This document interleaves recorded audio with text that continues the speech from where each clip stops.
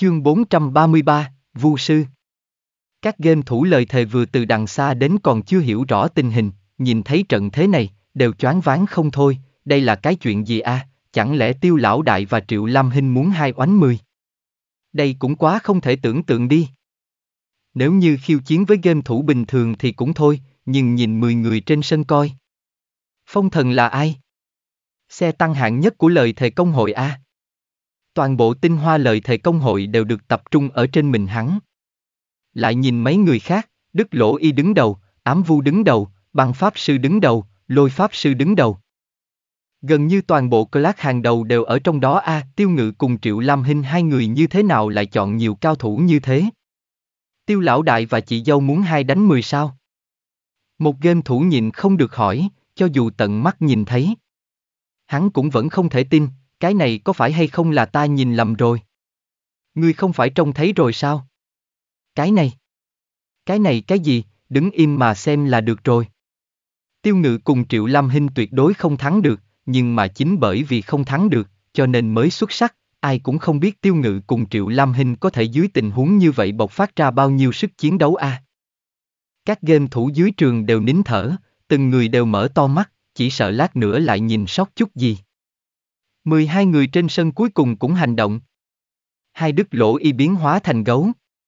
Thợ săn cũng triệu hồi ra sủng vật của hắn, tiêu ngự thấy rõ ràng, thợ săn triệu hồi ra đúng là một con hổ trắng to lớn a tiêu ngự cười khổ không thôi, 10 người chỗ này, mỗi một người đều không thể xem nhẹ, phải biết rằng, nơi này chính là tập trung tất cả tinh anh của lời thề rồi, không có ai là người bình thường. Thực lực của mỗi người bọn họ cũng chỉ so với tiêu ngự kém hơn một chút mà thôi, chênh lệch không quá lớn. Vu sư, tác mãn, bắt đầu bố trí đồ đằng trên mặt đất, mỗi một cái đồ đằng, coi như là trận pháp, hình vẽ đi, đều đối với đồng đội có tác dụng phụ trợ rất mạnh. Làm cho thuộc tính gia của các đội viên tăng rất nhiều. Nhóm 10 người đã bày ra trận hình, mặc dù biết rõ nhất định sẽ thắng, nhưng đối diện là tiêu ngự cùng triệu lam hình loại cao thủ đẳng cấp này, bọn họ một chút cũng đều không dám khinh thường. Như thế này còn để bị lật thuyền trong mương thì còn mặt mũi nào mà nhìn người khác a phỏng đoán sẽ bị các game thủ lời thề cười chết a mười đánh hai còn bị tiêu lão đại thịt luộc thì xấu hổ chết. Tiêu ngự đem U Linh bỉ mông triệu hồi ra, ở trước mặt các game thủ lời thề này cũng không cần giấu giếm. Dù sao U Linh bỉ mông cũng không phải cái bí mật gì nữa rồi. Chúng ta có nên triệu hồi thiên sứ hay không?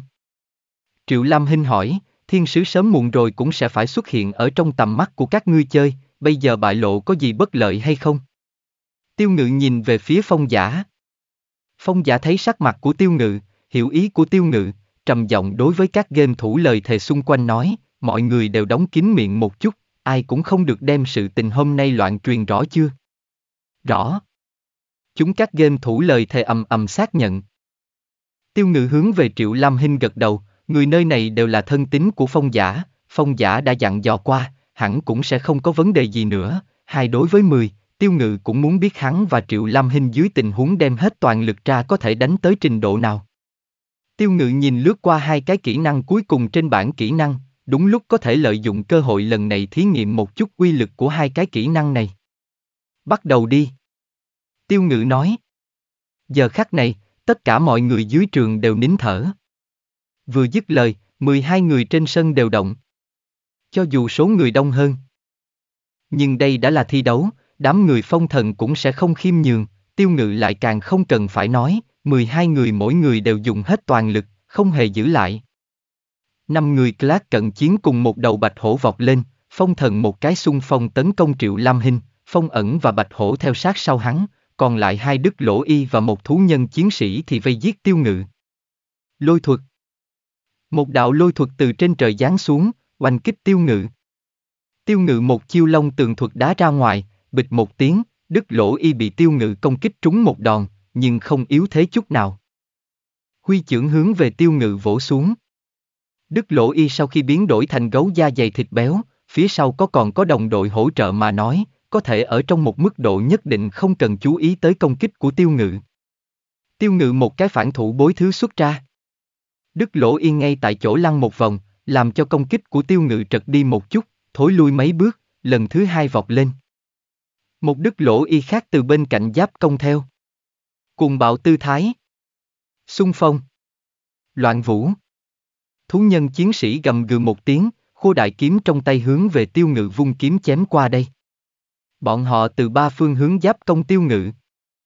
Phối hợp lưu loát, không có một chút chần chờ, bọn họ mỗi người đều không phải dạng mặt cho người khinh bạc, tiêu ngự muốn dùng cái loại chiêu số đối phó với game thủ bình thường kia để đối phó bọn họ, là không thể thực hiện được rồi. Tiêu ngự một cái độn hình ngăn cản hết công kích của thú nhân chiến sĩ. Cốt lông nha bên tay trái cấp cho cánh tay thú nhân chiến sĩ một đường rạch, tiêu ngự từ sát bên người thú nhân chiến sĩ lướt mình đi qua. Thú nhân chiến sĩ cảm giác được tay phải bị một trận như kim châm. Chính là đã bị rạch ra một đạo vết thương, trên người đã dính năm cái nguyền rủa. Là nguyền rủa, trạng thái xấu thật mạnh a. Thú nhân chiến sĩ thầm giật mình. Giải trừ nguyền rủa. Ám vu vẫn đang chú ý huyết lượng của cơ lát cận chiến phía trước, đột nhiên phát hiện trạng thái thú nhân chiến sĩ có chút đặc biệt. Khẩn trương giúp thú nhân chiến sĩ giải nguyền rủa. Tiêu ngự và Đức Lỗ Y giao thủ, mấy cái công kích tà ác chuẩn xác đánh trúng Đức Lỗ Y, bản thân cũng đã trúng mấy cái công kích, huyết lượng rất khá nhiều. Thấy được huyết lượng của tiêu ngự, những game thủ này đều có chút giật mình, 27.000 huyết lượng, đây còn là đạo tặc sao? Quá cường hãn mà. Máu so với đức lỗ y hóa gấu còn cao hơn một ít a. Phong thần. Phong ẩn giáp công Triệu Lam Hinh, Triệu Lam Hinh triển khai chiến thuật đánh xong té, nàng cũng có khá nhiều kỹ năng giảm tốc. Thêm U Linh bỉ mông cái tên to con này che chắn. Đối phó phong thần vẫn là còn có thể a, chỉ có phong ẩn sau khi tìm hành đối với nàng mới tạo thành uy hiếp to lớn, nhưng may mà tiêu ngự vẫn luôn có thể truyền âm chỉ ra vị trí của phong ẩn, giảm bớt áp lực cho Triệu Lam Hinh. Một đánh ba còn có thể luôn luôn chú ý đến tình huống của Triệu Lam Hinh, cũng chỉ có tiêu ngự mới có bản lĩnh này. Chỉ là, giờ phút này tiêu ngự cũng không hề thoải mái. Vài đạo ma pháp đồng thời đánh trúng tiêu ngự. Xóa sạch hơn huyết lượng 3.000 của tiêu ngự, đối phó với công kích ma pháp của băng pháp sư và lôi pháp sư, tiêu ngự không thể tránh hết toàn bộ, gặp phải ma pháp khống chế mới cố tránh, ma pháp công kích cơ bản cũng không quản. Bởi vì trên người tiêu ngự mặc hàng loạt trang bị gia tăng kháng ma pháp, loại ma pháp lôi thuật mang vào hiệu quả khống chế rất nhỏ đối với tiêu ngự xem như là triệt để không có hiệu quả, lôi pháp sư chỉ có thể cảm thán bó tay A, một đạo trị liệu thuật dừng ở trên đầu tiêu ngự, đem huyết lượng tổn thất của tiêu ngự hồi phục lại. Là triệu lam Hinh dùng thủy liệu thuật. Băng pháp sư và lôi pháp sư liếc mắt nhìn nhau, đồng thời vứt bỏ công kích tiêu ngự, đem mục tiêu chuyển hướng về phía triệu lam Hinh. Nhưng thấy được tình huống triệu lam Hinh bên kia, thì lại choáng váng, U Linh bỉ mông thân hình to lớn đối với Triệu Lam Hinh mà nói, là một cái công trình che chắn tuyệt hảo, U Linh bỉ mông có thể giúp Triệu Lam Hinh ngăn cản hết tuyệt đại bộ phận kỹ năng. U Linh bỉ mông hết máu, Triệu Lam Hinh lại có thể cấp cho nó trị liệu. Ma pháp căn bản uy hiếp không đến Triệu Lam Hinh. Tuy nhiên băng pháp sư và lôi pháp sư cũng không có ngừng công kích, nhưng thi triển ra tác dụng không lớn. Dù sao cũng là cao thủ, bọn họ hiểu tiêu ngự cùng Triệu Lam Hinh mặc dù có thể chống đỡ được nhất thời, nhưng cũng rất khó duy trì lâu dài a. bọn họ từng bước từng bước thả ra ma pháp. Những ma pháp quan trọng đều giữ lại, kiên nhẫn chờ đợi thời cơ thích hợp. Có ám vu trị liệu, tiêu ngự cũng không thể đối với đức lỗ y tạo thành thương tổn hữu ích, nhưng vẫn cố gắng tích góp điểm liên kích và thanh năng lượng. Hai đức lỗ y liếc nhau. Thú nhân chiến sĩ đối với động tác của hai đức lỗ y cũng là rõ như lòng bàn tay. Tiêu ngự mặc dù bị ba game thủ Clark cận chiến bức bách liên tục lùi về sau. Nhưng đối với ánh mắt bọn họ lẫn nhau trao đổi cũng không qua nổi mắt hắn. Bọn họ rất nhanh đã có động tác. Một đức lỗ y gầm gừ một tiếng, một cái trọng kích hướng về tiêu ngự đánh tới. Thân thể một đứt lỗ y khác đột nhiên căng lớn, lông toàn thân biến thành đỏ như máu, hai mắt đỏ rực, rống lên một tiếng dữ dội. Năng lượng âm bạo. Một tiếng nổ vang nặng nề vang lên bên tai tiêu ngự. Tiêu ngự chỉ cảm thấy ngực như bị đụng mạnh một cái, cổ họng ngòn ngọt, muốn thổ ra vài ngụm máu tươi, trên đầu phiêu khởi một cái hơn 2.000 giá trị thương tổn, cái kỹ năng này cương nhiên là công kích sống âm cực kỳ hiếm thấy a. Thú nhân chiến sĩ khô đại kiếm trong tay hướng về tiêu ngự chém xuống. Ba người đem đường lui của tiêu ngự gắt gao phong kín. Công kích liên tục không ngừng, thủ đoạn không hề đơn giản, cho dù tiêu ngự dùng tật phong bộ, tránh thoát đợt công kích thứ nhất, bên cạnh còn có hai đứt lỗ y chặn đường, tiêu ngự cũng đừng hòng chạy trốn. Đào thoát. Dưới loại tình huống này, tiêu ngự cũng chỉ có thể sử dụng kỹ năng đào thoát mới có thể có hiệu quả. Hai đức lỗ y và thú nhân chiến sĩ kia chỉ cảm thấy nhoáng lên, tiêu ngự liền mất đi tung tích. Lôi bạo thuật Băng hoàng thuật Phát hiện tiêu ngự đột nhiên vọt đến bên cạnh. Băng pháp sư và lôi pháp sư sốc nặng, nhưng bọn hắn cũng không phải người bình thường. Tiêu ngự mới rơi xuống đất, hai người đã liên hợp phóng ra hai đạo ma pháp rời tay.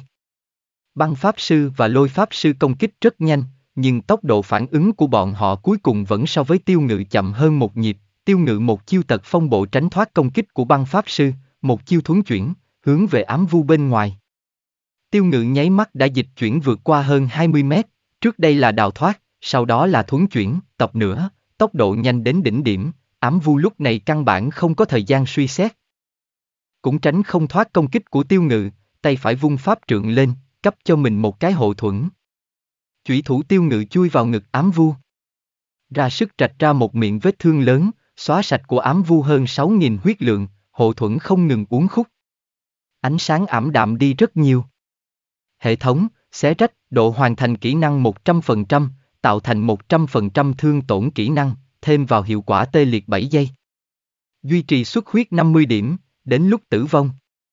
Tiêu ngự một đòn xong xuôi, vừa định bổ thêm cho ám vu một cái công kích, một đạo ma pháp trị liệu dừng ở trên người ám vu. Đem huyết lượng ám vu hồi phục lại. Tiêu ngự nhìn lướt qua bên cạnh, là vu sư. Vu sư ở một bên trong lúc ám vu nguy cấp đã kịp thời cấp cho ám vu một đạo trị liệu. Đó là một class rất làm cho người đau đầu a. Kỹ thuật công kích của đối thủ tốt, lại còn trị liệu kèm trạng thái phụ trợ, bất kỳ một cái hạng mục nào đều không thể xem nhẹ a, phong nộ đồ đằng. Thấy tiêu ngự muốn tiêu diệt ám vu, vu sư tự nhiên sẽ không để cho tiêu ngự nhẹ nhàng như vậy thực hiện được, đánh ra một cái đồ đằng, sưu sưu sưu. Ba đạo ma pháp rời tay, hướng về tiêu ngự bắn thẳng tới.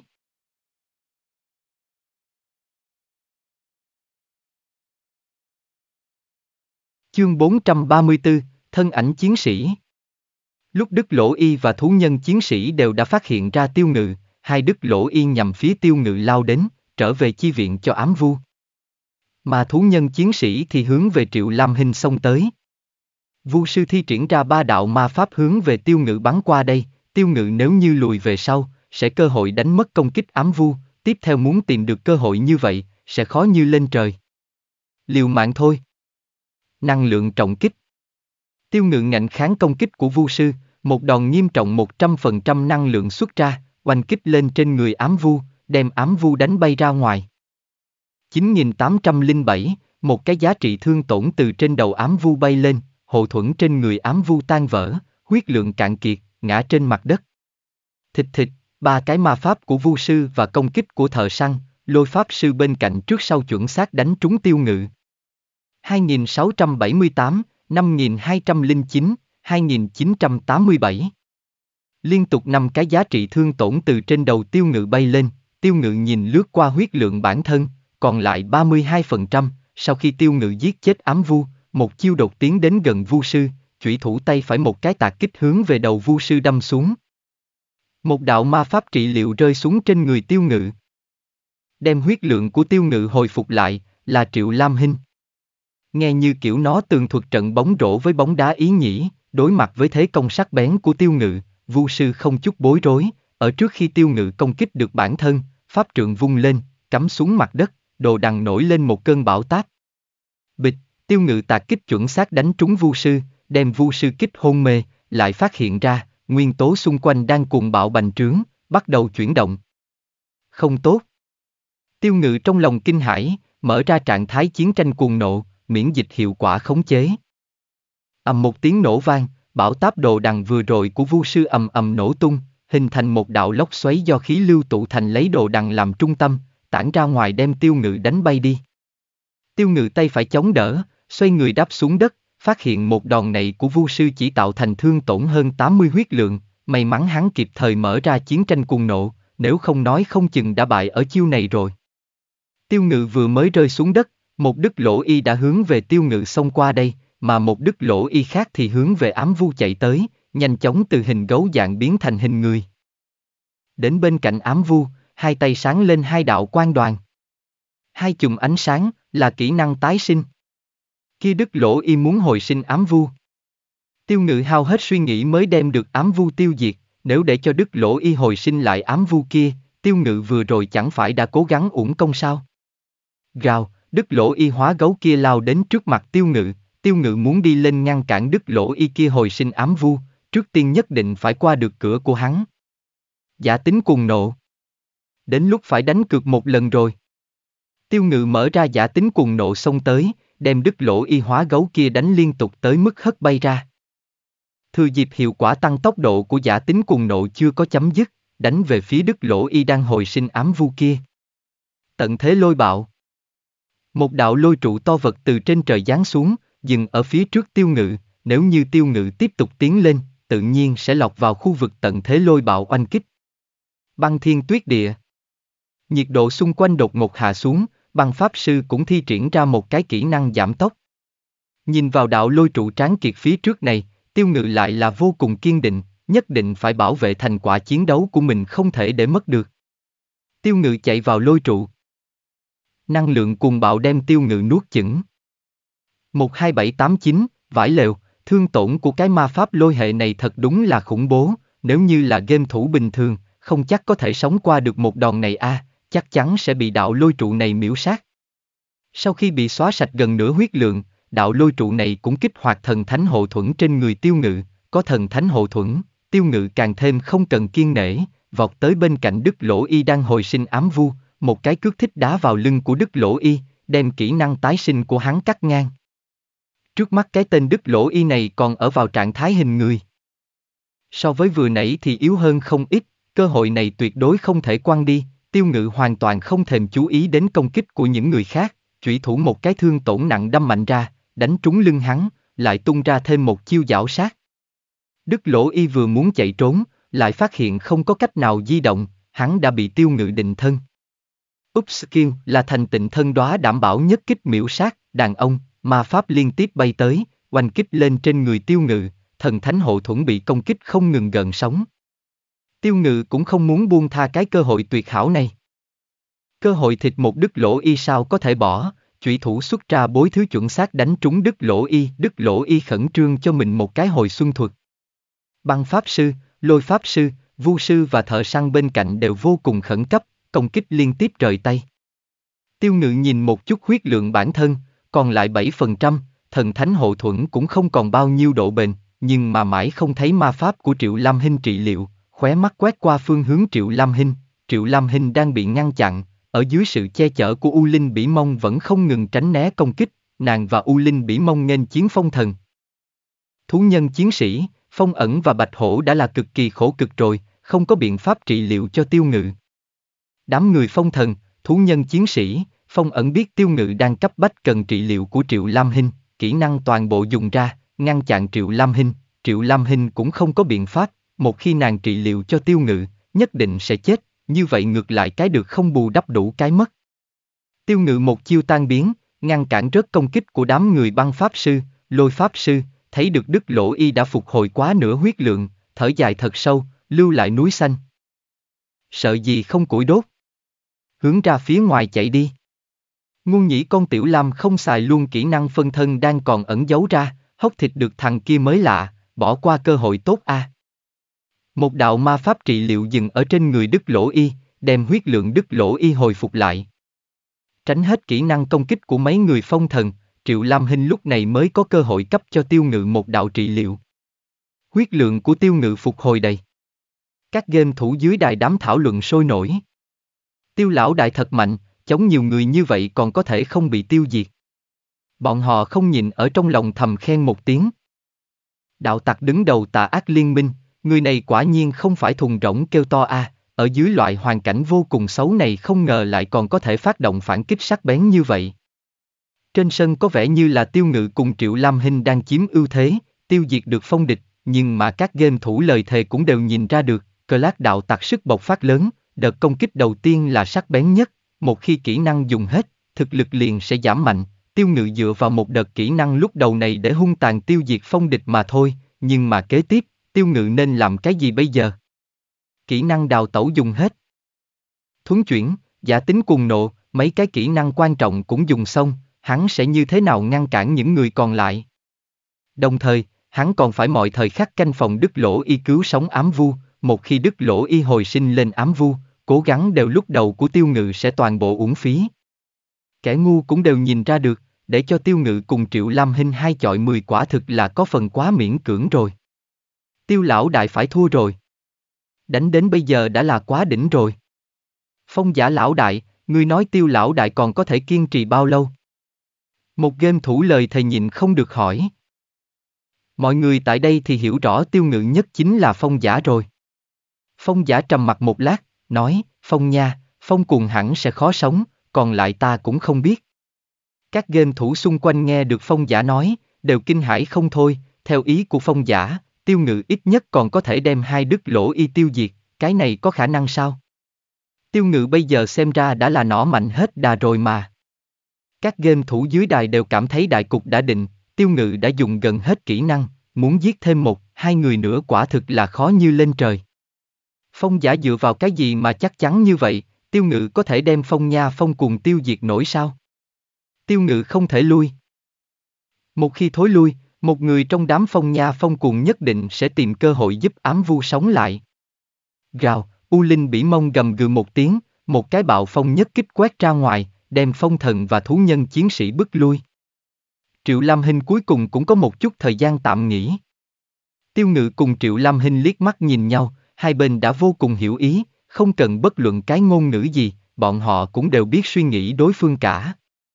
Đức lỗ y hình người kia lần nữa biến đổi trở về hình dạng gấu, chắn ngang phía trước xác chết ám vu, mấy người nhanh chóng điều chỉnh vị trí, bọn họ muốn trước tiên đem tiêu ngự bức lui. Sau đó mới giúp ám vu sống lại. Vu sư đánh ra lôi điện cùng bạo âm âm, lôi pháp sư cũng pháp trượng khẽ nâng, từng chùm nguyên tố lôi điện ở trên pháp trượng bay múa xoay tròn. Dưới trường đấu đang yên tĩnh, cũng nổi lên bão táp. Đòn này một khi đánh ra, có khả năng sẽ quyết định đến sinh tử hai bên A, tích, tích.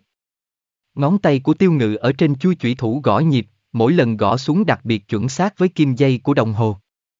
Trong thời khắc khẩn trương như vậy, mà tiêu ngự vẫn còn có thể bình tĩnh như thế. Trong miệng lôi pháp sư và băng pháp sư thì thào ngâm sướng chú âm dài dòng trích trắc. Bỗng dưng, lôi pháp sư và băng pháp sư đều động, kỹ năng khống chế đối với tiêu ngự không có hiệu quả, cho nên bọn họ vừa xuất ra chính là kỹ năng công kích thương tổn cao. Bảo tuyết Thiên lôi phẫn nộ Bảo tuyết giữ đội sen lẫn lôi điện phẫn nộ hướng về tiêu ngự bao trùm đi qua.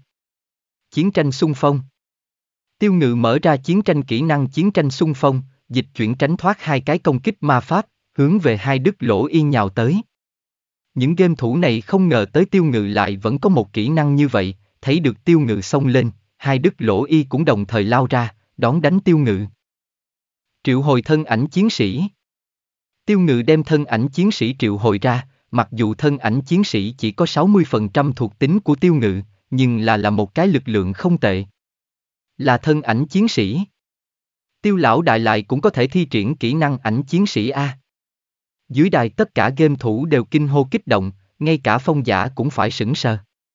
Bọn họ đối với cái kỹ năng này không thể quen thuộc hơn được nữa, lúc trước lưỡi lê nhờ vào cái kỹ năng này mà đánh đâu thắng đó, theo lưỡi lê nổi danh, cái kỹ năng hiếm thấy này cũng có được danh khí không nhỏ trong cộng đồng ngươi chơi.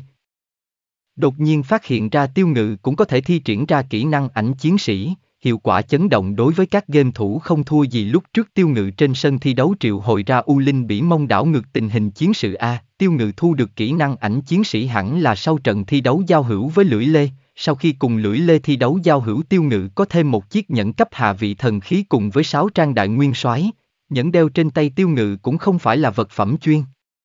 Dành cho đạo tặc, phong giả suy đoán, kỹ năng triệu hồi ảnh chiến sĩ hơn phân nửa là do sáu trang đại nguyên soái mang đến A.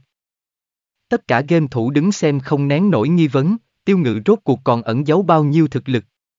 Tiêu ngự vĩnh viễn đều là như vậy, sâu không lường được, luôn luôn có thể ở trong thời khắc mấu chốt đột ngột bày ra tuyệt chiêu hiếm thấy, đến nay cũng chưa có ai thăm dò được thực lực toàn thân của tiêu ngự. Tiêu ngự rốt cuộc có thể đánh tới trình độ nào? Đối với vấn đề này, bọn họ càng ngày càng hiếu kỳ a.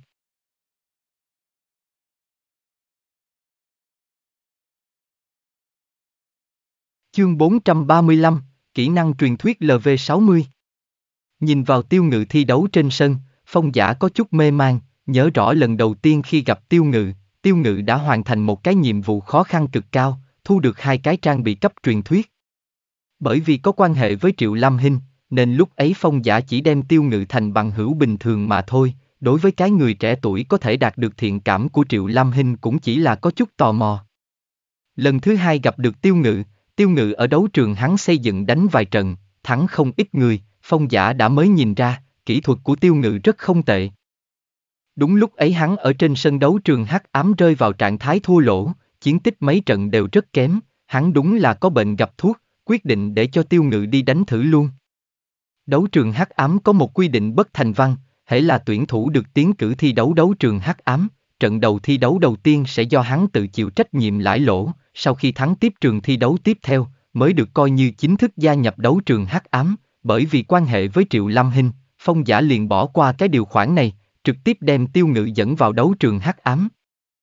Từ đó về sau Tiêu Ngự liền liên tục chưa từng thua qua, từ lúc mới bắt đầu đánh bại Tiểu Đao, Thư Sinh, về sau một hồi lại thêm một hồi thắng lợi. Tiêu Ngự mang đến cho hắn kinh hỉ liên hồi, về sau chuyển hướng mục tiêu về phía lưỡi lê, không nghĩ tới Tiêu Ngự lại thực sự đánh bại được cả lưỡi lê, cái này cũng quả thật vượt ra ngoài dự kiến của Phong Giả. Hồi tưởng lại, Phong Giả mới cảm thấy, bản thân lúc trước đem tiêu ngự dẫn vào đấu trường hắc ám là một cái quyết định sáng suốt nhường nào, chỉ riêng là tiền đặt cược thi đấu giao hữu mấy bữa, tiêu ngự đã giúp hắn kiếm được 13 tỷ rồi. Còn chưa tính các khoản thu vào gián tiếp khác. Theo thời gian trôi qua, phong giả phát hiện. Thực lực của tiêu ngự cũng càng ngày càng mạnh, tốc độ tăng lên càng vượt xa các game thủ khác, hắn cũng càng ngày càng nhìn không rõ tiêu ngự. Nhưng vẫn có thể khẳng định là, danh hiệu đạo tặc đứng đầu tà ác liên minh là hoàn toàn xứng đáng với tiêu ngự. Với lại tiêu ngự chính là cái loại địch mạnh ta càng mạnh, gây áp lực càng lớn, hắn càng là có thể bộc phát sức chiến đấu mạnh mẽ hơn. Phong giả phục hồi lại tinh thần, chiến đấu trên sân đã tiến vào hội gây cấn, đánh nhau càng ngày càng dữ dội. Hai tên tiêu ngự đồng thời đánh về phía phong nha. Ma pháp bay tán loạn, công kích liên tục xuất ra. Bản thân tiêu ngự cũng đã tích góp được 100 điểm năng lượng, phân thân cũng tích góp được tới hơn 60 điểm năng lượng. Hai bên đánh vô cùng dữ dội, không ai nhường ai. Thú vương rít gào. Hai đức lỗ y đánh tới. Lôi liên. Lôi công. Vu sư và lôi pháp sư đồng thời công kích lên người phân thân của tiêu ngự, trên người phân thân lập tức nổ lốp bóp một trận. Tiêu ngự trong mắt hàng mang dịch chuyển, đột nhiên ra tay. Định thân. Phân thân của tiêu ngự định thân phong nha, chân thân thì một cái năng lượng trọng kích xuất ra. 13876, một cái giá trị thương tổn từ trên người phong nha bay lên. Phong nha sau khi hóa gấu cũng có hơn 23.000 huyết lượng, thật cũng không dễ đem nàng giết chết a à, nhưng mà chuyện cũng không phải là chỉ đơn giản như vậy. Triệu Lam Hinh bên kia, nàng triệu hồi ra một thiên sứ, thiên sứ đại kiếm khua tay đem phong thần bức lui. U Linh bỉ mông một cái xung kích đem phong thần và thú nhân chiến sĩ bức lui ra, lại thêm một cái tác đem bạch hổ đánh bay ra ngoài, bạch hổ dính công kích gào lên nức nở. Cứ như vậy, đã giúp cho Triệu Lam Hinh giành được một ít thời gian, Triệu Lam Hinh nhân cơ hội một đạo ma pháp đánh lan mộng ma đánh ra. Kỹ năng mộng ma của Triệu Lam Hinh và kỹ năng năng lượng trọng kích của tiêu ngự thời gian xuất ra cách nhau cực ngắn. Quả thực có thể tính là gần như cùng một lúc. Một giá trị thương tổn, 10123 theo sát tiêu ngự đòn năng lượng trọng kích bay lên, phong nhà đúng là không có nổi một chút thời gian phản ứng đã chết ngã trên mặt đất rồi. Tất cả game thủ xung quanh cũng đều rớt quá nửa huyết lượng. Vu sư khẩn trương thi triển một cái trị liệu quần thể. Phong nha cứ như vậy đã chết sao? Các game thủ dưới trường một trận ngạc nhiên, tiêu ngự cùng triệu lam hình phối hợp quá vải. Trên sân chia hai nhóm, ba người cộng thêm một con bạch hổ đối phó triệu lam hình, sáu người đối phó tiêu ngự, ngoài ra triệu lam hình thỉnh thoảng ném cho tiêu ngự một cái trị liệu. Thì vu sư thỉnh thoảng cũng cấp cho đám người phong ẩn không ít trị liệu, nhìn như hai nhóm không liên quan là mấy, lại không nghĩ rằng Triệu Lam Hinh và Tiêu Ngự ở dưới tình huống phải chống đỡ như vậy còn có thể làm ra một hành động phối hợp tinh chuẩn như thế, một lần hành động trực tiếp miễu sát phong nha a Tiêu Ngự cùng Triệu Lam Hinh đã mở ra một con đường sáng cho những game thủ này biết thế nào là phối hợp thật sự. Gần như là kỹ năng của thần rồi. Dưới loại tình huống này, bất luận cao thủ nào cũng không thể trốn thoát. Đây là loại kỹ năng của tử thần A. lợi hại, may ta còn chưa sửa thành vải. Ái vui vẻ. Đây là tiếng vạn lòng như một của tất cả game thủ dưới trường, giờ khắc này, ngoài tháng phục ra, bọn họ tìm không thấy bất luận cái từ ngữ gì để hình dung ra chấn động trong lòng nữa. Tiêu ngự cùng Triệu Lam Hinh phối hợp tiêu diệt phong nha tự như là một kỳ tích vậy, làm cho tám người trên sân quả thực kinh ngạc không thôi, nhưng mà bọn họ cũng không phải người bình thường, mặc dù kinh hãi, nhưng công kích trong tay cũng không có dừng lại. Tận thế thạch vũ. Phong nha vừa mới chết, tiêu ngự thậm chí còn chưa kịp tổ chức làn sóng công kích tiếp theo, không trung đột nhiên âm u tối lại. Mảng lớn mảng lớn mưa đá từ trên không trung đánh xuống, băng pháp sư ở khi tiêu ngự chú tâm công kích phong nha đã phóng ra một cái ma pháp đánh lan. Tiêu ngự quay người tự vãn ngoại bào, hắn đã không còn kỹ năng đào tẩu, nếu như cứ duy trì đúng ở trong khu vực ma pháp đánh lan công kích một lát, có nhiều huyết lượng hơn nữa thì cũng cạn kiệt, nếu như đám người phong thần tiếp tục quấy nhiễu Triệu Lam Hinh một lúc, khiến cho Triệu Lam Hinh không có cách nào trị liệu, tiêu ngự chắc chắn sẽ phải chết. Bởi vì phân thân chỉ có 60% thực lực của chân thân, nên hết máu tương đối nhanh chóng. Phong cùng từ trong công kích đã đoán được chân thân của tiêu ngự. Khi chiến một, một còn khó đoán chiếu một v 5 người thì bó tay rồi, kia là chân thân, đừng để cho hắn chạy. Phong cùng một cái xung kích xông qua. Vu sư, lôi pháp sư, thợ săn ào ào ngăn chặn tiêu ngự. Không có biện pháp, chỉ có thể hy sinh phân thân thôi. Tiêu ngự chỉ huy phân thân hướng về phong cuồng vọt tới, một cái giả tính cuồng nộ đem phong cuồng đánh bay, ngăn chặn đám người phong cuồng truy kích. Mưa đá công kích lên người phân thân của tiêu ngự. Chỉ qua một lát, huyết lượng của phân thân cạn kiệt, gục xuống. Phong cùng đuổi được một nửa. Nhìn vào băng đạn như mưa phía trước chỉ đành lui trở về, bởi vì tận thế thạch vũ là công kích không có tính phân biệt, đồng đội cũng không ngoại lệ. Chỉ có thể trước hết tránh ra khỏi. Phong cùng thầm nghĩ đáng tiếc, nếu không phải phân thân ngăn cản, tiêu ngự đã bị ngăn lại rồi. Tật phong bộ đã tan băng. Tiêu ngự cuối cùng có một chiêu kỹ năng đào tẩu, đáy lòng thầm thở ra một hơi, nhìn một chút bản kỹ năng. Trong bản kỹ năng chỉ còn lại có mấy cái kỹ năng. Tận thế thạch vũ vẫn còn đang tiếp tục, phong cuồng trở lại thành hình người, hai tay ngưng tụ lên hai đạo quan đoàn, bắt đầu hồi sinh phong nha trên mặt đất.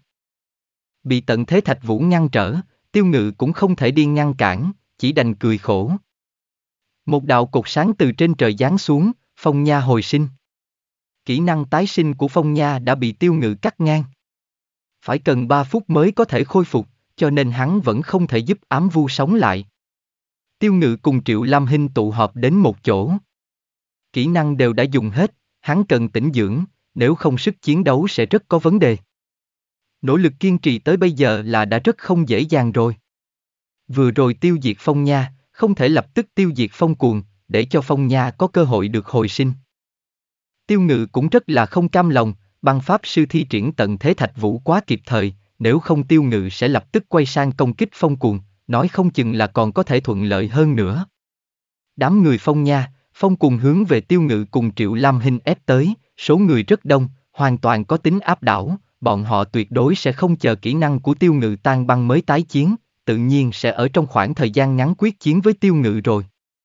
Đây hẳn sẽ là trận chiến cuối cùng, tiêu ngự cùng triệu lam hinh chậm rãi lùi về sau, đứng lại ở vị trí trung tâm đấu trường.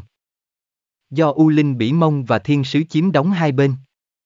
Triệu Lam Hinh triệu hồi Thiên Sứ có 10.000 huyết lượng, thực lực so với U Linh Bỉ Mông thì kém hơn một ít, nhưng cũng xem như là một cái khiên thịt tương đối không tệ rồi, thiên sứ trên người mặc chiến giáp bạch ngân, sau lưng có một đôi cánh chim trắng noãn, thân hình cao lớn, tay phải giữ một thanh đại kiếm, cũng là rất có uy nghiêm a. À, ơ thế chim hốc biết bay à, tiêu ngự cùng triệu lam hình không thể lui thêm nữa, nếu như lùi vào góc, sau khi bị ngăn chặn, băng pháp sư và lôi pháp sư sẽ tha hồ mà thả ra ma pháp đánh lan, hai người bọn họ sẽ đều chết từ trong trứng. Hốc kịp làm gì a? À? Phong thần, phong ẩn, hai đức lỗ y, thú nhân chiến sĩ, bạch hổ, toàn bộ class cận chiến đều chậm rãi đến gần. Triệu Lam Hinh bắt đầu phóng ra tất cả kỹ năng trạng thái. Đem thuộc tính của tiêu ngự tăng lên trên dưới ba thành, 30%. Tiêu ngự cũng gia trì cho mình tất cả trạng thái. Tiêu ngự đem bản kỹ năng kéo đến cuối cùng, xem ra lần này không thể không sử dụng hai cái kỹ năng này rồi, còn có một cái kỹ năng có lẽ sẽ hữu dụng, chính là kỹ năng năng lượng phạm vi, chiến tranh gào thét, chỉ là phạm vi có phần hơi nhỏ, không có cách nào đem toàn bộ mọi người bao trùm vào trong. Đám người phong thần đứng thành hình vòng cung, cũng đã mở ra tất cả trạng thái của từng người. Phong thần làm một cái động tác tay, giờ khắc này. Tất cả mọi người đã động. Loạn vũ, thần thú trảm. Thú nhân chiến sĩ vọt lên, chém ra vô số nhát. Trong phút chốc ánh sáng rực rỡ tỏa ra, kiếm lưu tạo thành một quan cầu to lớn, hướng về U Linh Bỉ Mông bao trùm qua. Long thuẫn xung kích. Đại thuẫn trong tay phong thần ánh sáng bắn ra bốn phía, đạo ánh sáng huyễn hóa biến ảo thành hình dáng một con cự long, phát ra một tiếng long ngâm, long uy mãnh liệt hướng về nhóm người tiêu ngự quét tớt, phong thần đem cự thuẫn lao lên. Tổ tiên chi nộ. Cơn giận của tổ tiên A, phong nha, phong cuồng đứng thẳng lên hai chân sau, tứ chi nhanh chóng bành trướng, thân hình không ngừng lớn mạnh, biến thành một đầu bạo hùng to lớn cao chừng 3 mét, toàn thân bốc lên từng chùm hỏa diễm nóng rực. Thiên hổ chi hồn Bộ lông bạch hổ của thợ săn rớt xuống, xương cốt phát ra tiếng lách cách nổ vang, trên lưng sinh ra một đôi cánh chim mạnh mẽ, biến thành một con hổ to vật. Từ trên không trung gào thét lao xuống. Bọn họ đều đã dùng đến tuyệt chiêu. Những sách kỹ năng tốt nhất trong ba công hội dưới tay phong giả đều tập trung ở trên người bọn họ, bọn họ tự nhiên sẽ không thiếu hụt kỹ năng đặc biệt rồi. Lần này xem như là đem kỹ năng trên dưới đều dùng hết, quy lực quả thực khiến cho người ta kinh sợ. U Linh bỉ mông bị kiếm kỹ của thú nhân chiến sĩ bao trùm.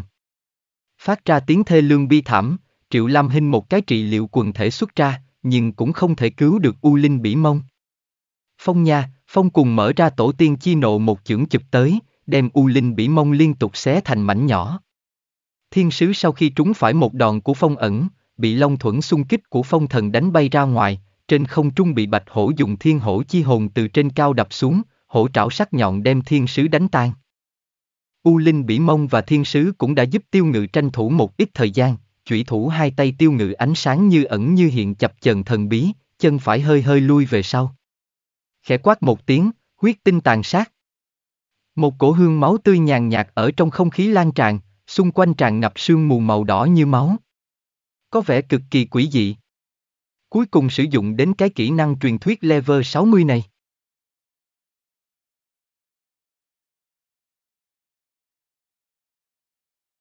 Chương 436, vòng thứ nhất.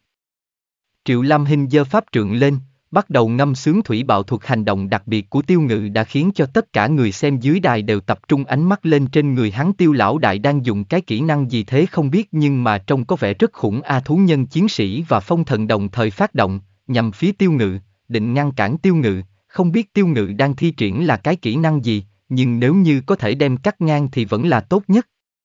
Nhưng mà động tác của bọn họ hiển nhiên là đã chậm rồi trong phút chốc, thời gian xung quanh dường như dừng lại.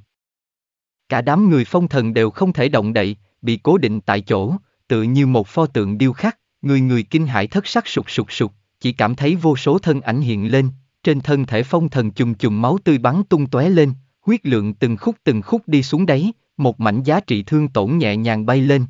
Năm người thêm cả bạch hổ đều bị một đòn này của tiêu ngự xóa sạch hơn 6.000 huyết lượng thiên thần lôi nộ thiên thần lôi nộ đạo ma pháp rời tay băng pháp sư và lôi. Pháp sư xích lôi. Vu sư một đạo ma pháp bắn ra, thợ săn cũng bắn ra ba mũi tên. Thủy bạo thuật của Triệu Lam Hinh cũng đi vừa lúc tỏa rộng. Nhà máy hiệu buôn loạn thành một chùm, các loại ma pháp đang xen lẫn nhau, tự như ngàn hoa nở rộ, che khuất tầm mắt của bọn họ, tất cả đều là ma pháp công kích mạnh nhất, thịt thịt thịt, ba đạo mũi tên đồng thời bắn trúng Triệu Lam Hinh, ba đạo ma pháp đánh lan cũng bao trùm xuống, kỹ năng đào tẩu của Triệu Lam Hinh cũng đều đã dùng hết, tránh né không kịp, bị đánh bay ra ngoài tiêu ngự cũng dính phải ba cái ma pháp đánh lan, Quyết lượng chỉ còn lại có 23%, phát hiện ra đám người phong. Thần đến gần, một cái thịnh yến tàn sát, đem năm người xung quanh đánh lui, lại đối với đám người phong thần tạo thành khá nhiều giá trị thương tổn. Chỉ dùng hai chiêu kỹ năng vừa qua, giá trị năng lượng của tiêu ngự liền đã đầy cột chiến tranh gào thét tiêu ngự phát ra một tiếng thét dữ dội, chỉ cảm thấy toàn thân năng lượng trong nháy mắt tập trung thành một cái điểm nhỏ sau đó trong nháy mắt bành trướng lên, hình thành một cái quan cầu năng lượng to lớn, nhanh chóng hướng ra phía ngoài bành trướng, đem đám người xung quanh nuốt hết bùng một tiếng, quan cầu tan biến tự như bọt xà phòng tắm thông thường, bạch quan lắng dần xuống. Sau một lúc lâu, quan cầu tan hết, Tình huống trên sân làm cho tất cả game thủ đều choáng váng đấu trường trên một mảnh bừa bộn. Triệu Lam Hinh và Tiêu Ngự đều đã chết.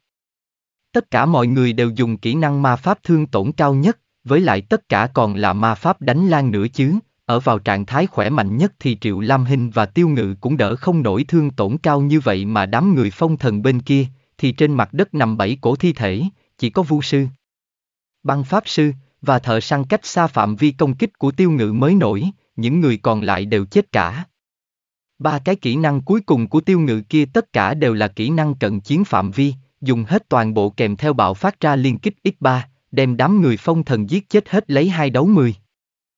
Giết chết 6 người cộng thêm bạch hổ, chiến tích như vậy không thể huy hoàng hơn được nữa, ba chiêu kỹ năng cuối cùng của tiêu lão đại thật là lợi hại a, ngay cả phong thần là thuận chiến sĩ máu trâu như vậy cũng không đỡ nổi công kích của tiêu ngự, thế mới biết được ba chiêu kỹ năng công kích cuối cùng mạnh đến mức nào. Với lại còn vô cùng nhanh nữa chứ, nếu không vu sư cũng sẽ không bị không kịp trị liệu như vậy đám người tiêu ngự được hồi sinh tiêu ngự cười cười, nói, ta thua rồi. Hắn trái lại không hề đem thắng thua lần này thi đấu coi trọng, phong thần tay phải đấm vào ngực tiêu ngự một cái.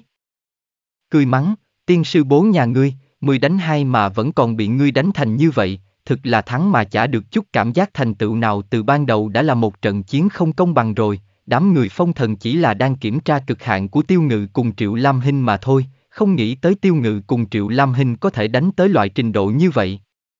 Xem ra quán quân 2v2 không phải các ngươi giành được thì mới là A, tiêu ngự lại giành thêm cái giải quán quân 1v1 nữa là ngọt A, chúng ta cũng đã chuẩn bị chiến 3v3, 5v5 và đoàn đội thi đấu rồi. Phong thần nói, nói không chừng còn có thể đem giải quán quân và tiền thưởng toàn bộ hốc hết đó nha.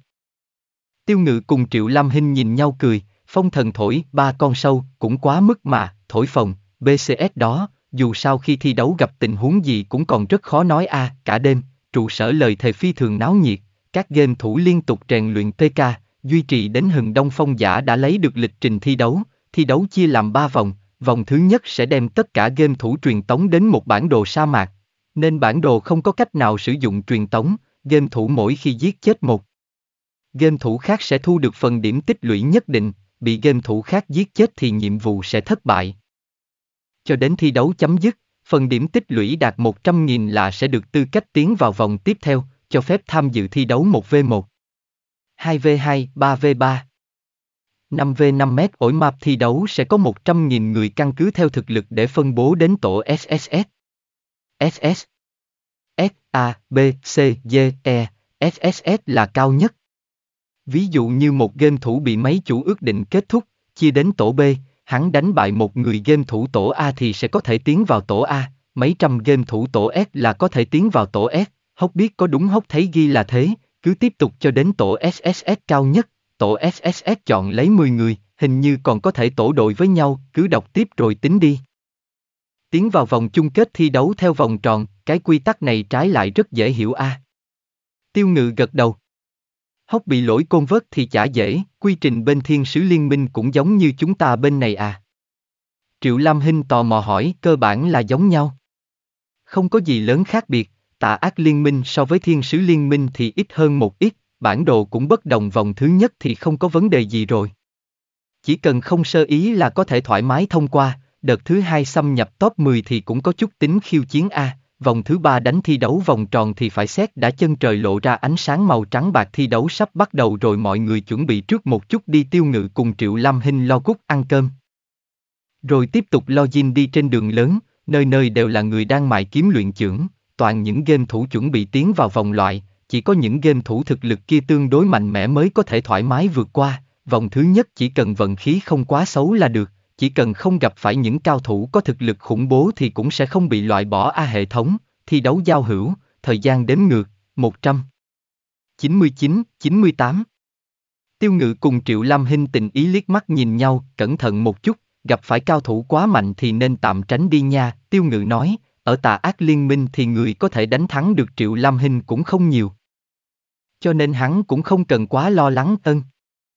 Triệu Lam Hinh lĩnh ý thời gian từng giây từng phút trôi qua, 3 giây, 2 giây, 1 giây, một đạo bạch quang hiện lên, tất cả game thủ đều tan biến tại chỗ tiêu ngự mở mắt ra, phát hiện bản thân hắn đã ở một khu vực hoang mạc trống trải, từng bụi cây gai thưa thớt trải rác trên hoang mạc, trong không khí mờ mờ ảo ảo của hoang mạc đã có rất nhiều game thủ bắt đầu hành động chơi nào.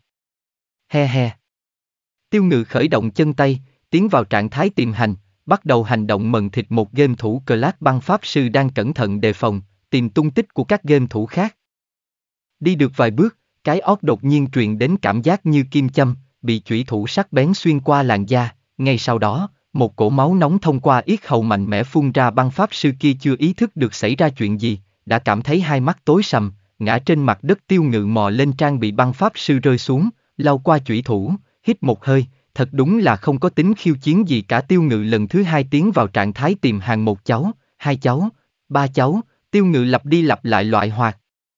Động ám sát này, những game thủ này thực lực khá bình thường, đại đa số người thậm chí còn không đỡ nổi đến cái công kích thứ hai của tiêu ngự. Tiêu ngự phát hiện, giết chết mấy game thủ này kiếm được điểm tích lũy từ 1 tới 5, 6 điểm, nguyên lai like mỗi khi giết chết một game thủ là sẽ có thể thu được tất cả điểm tích lũy của đối phương.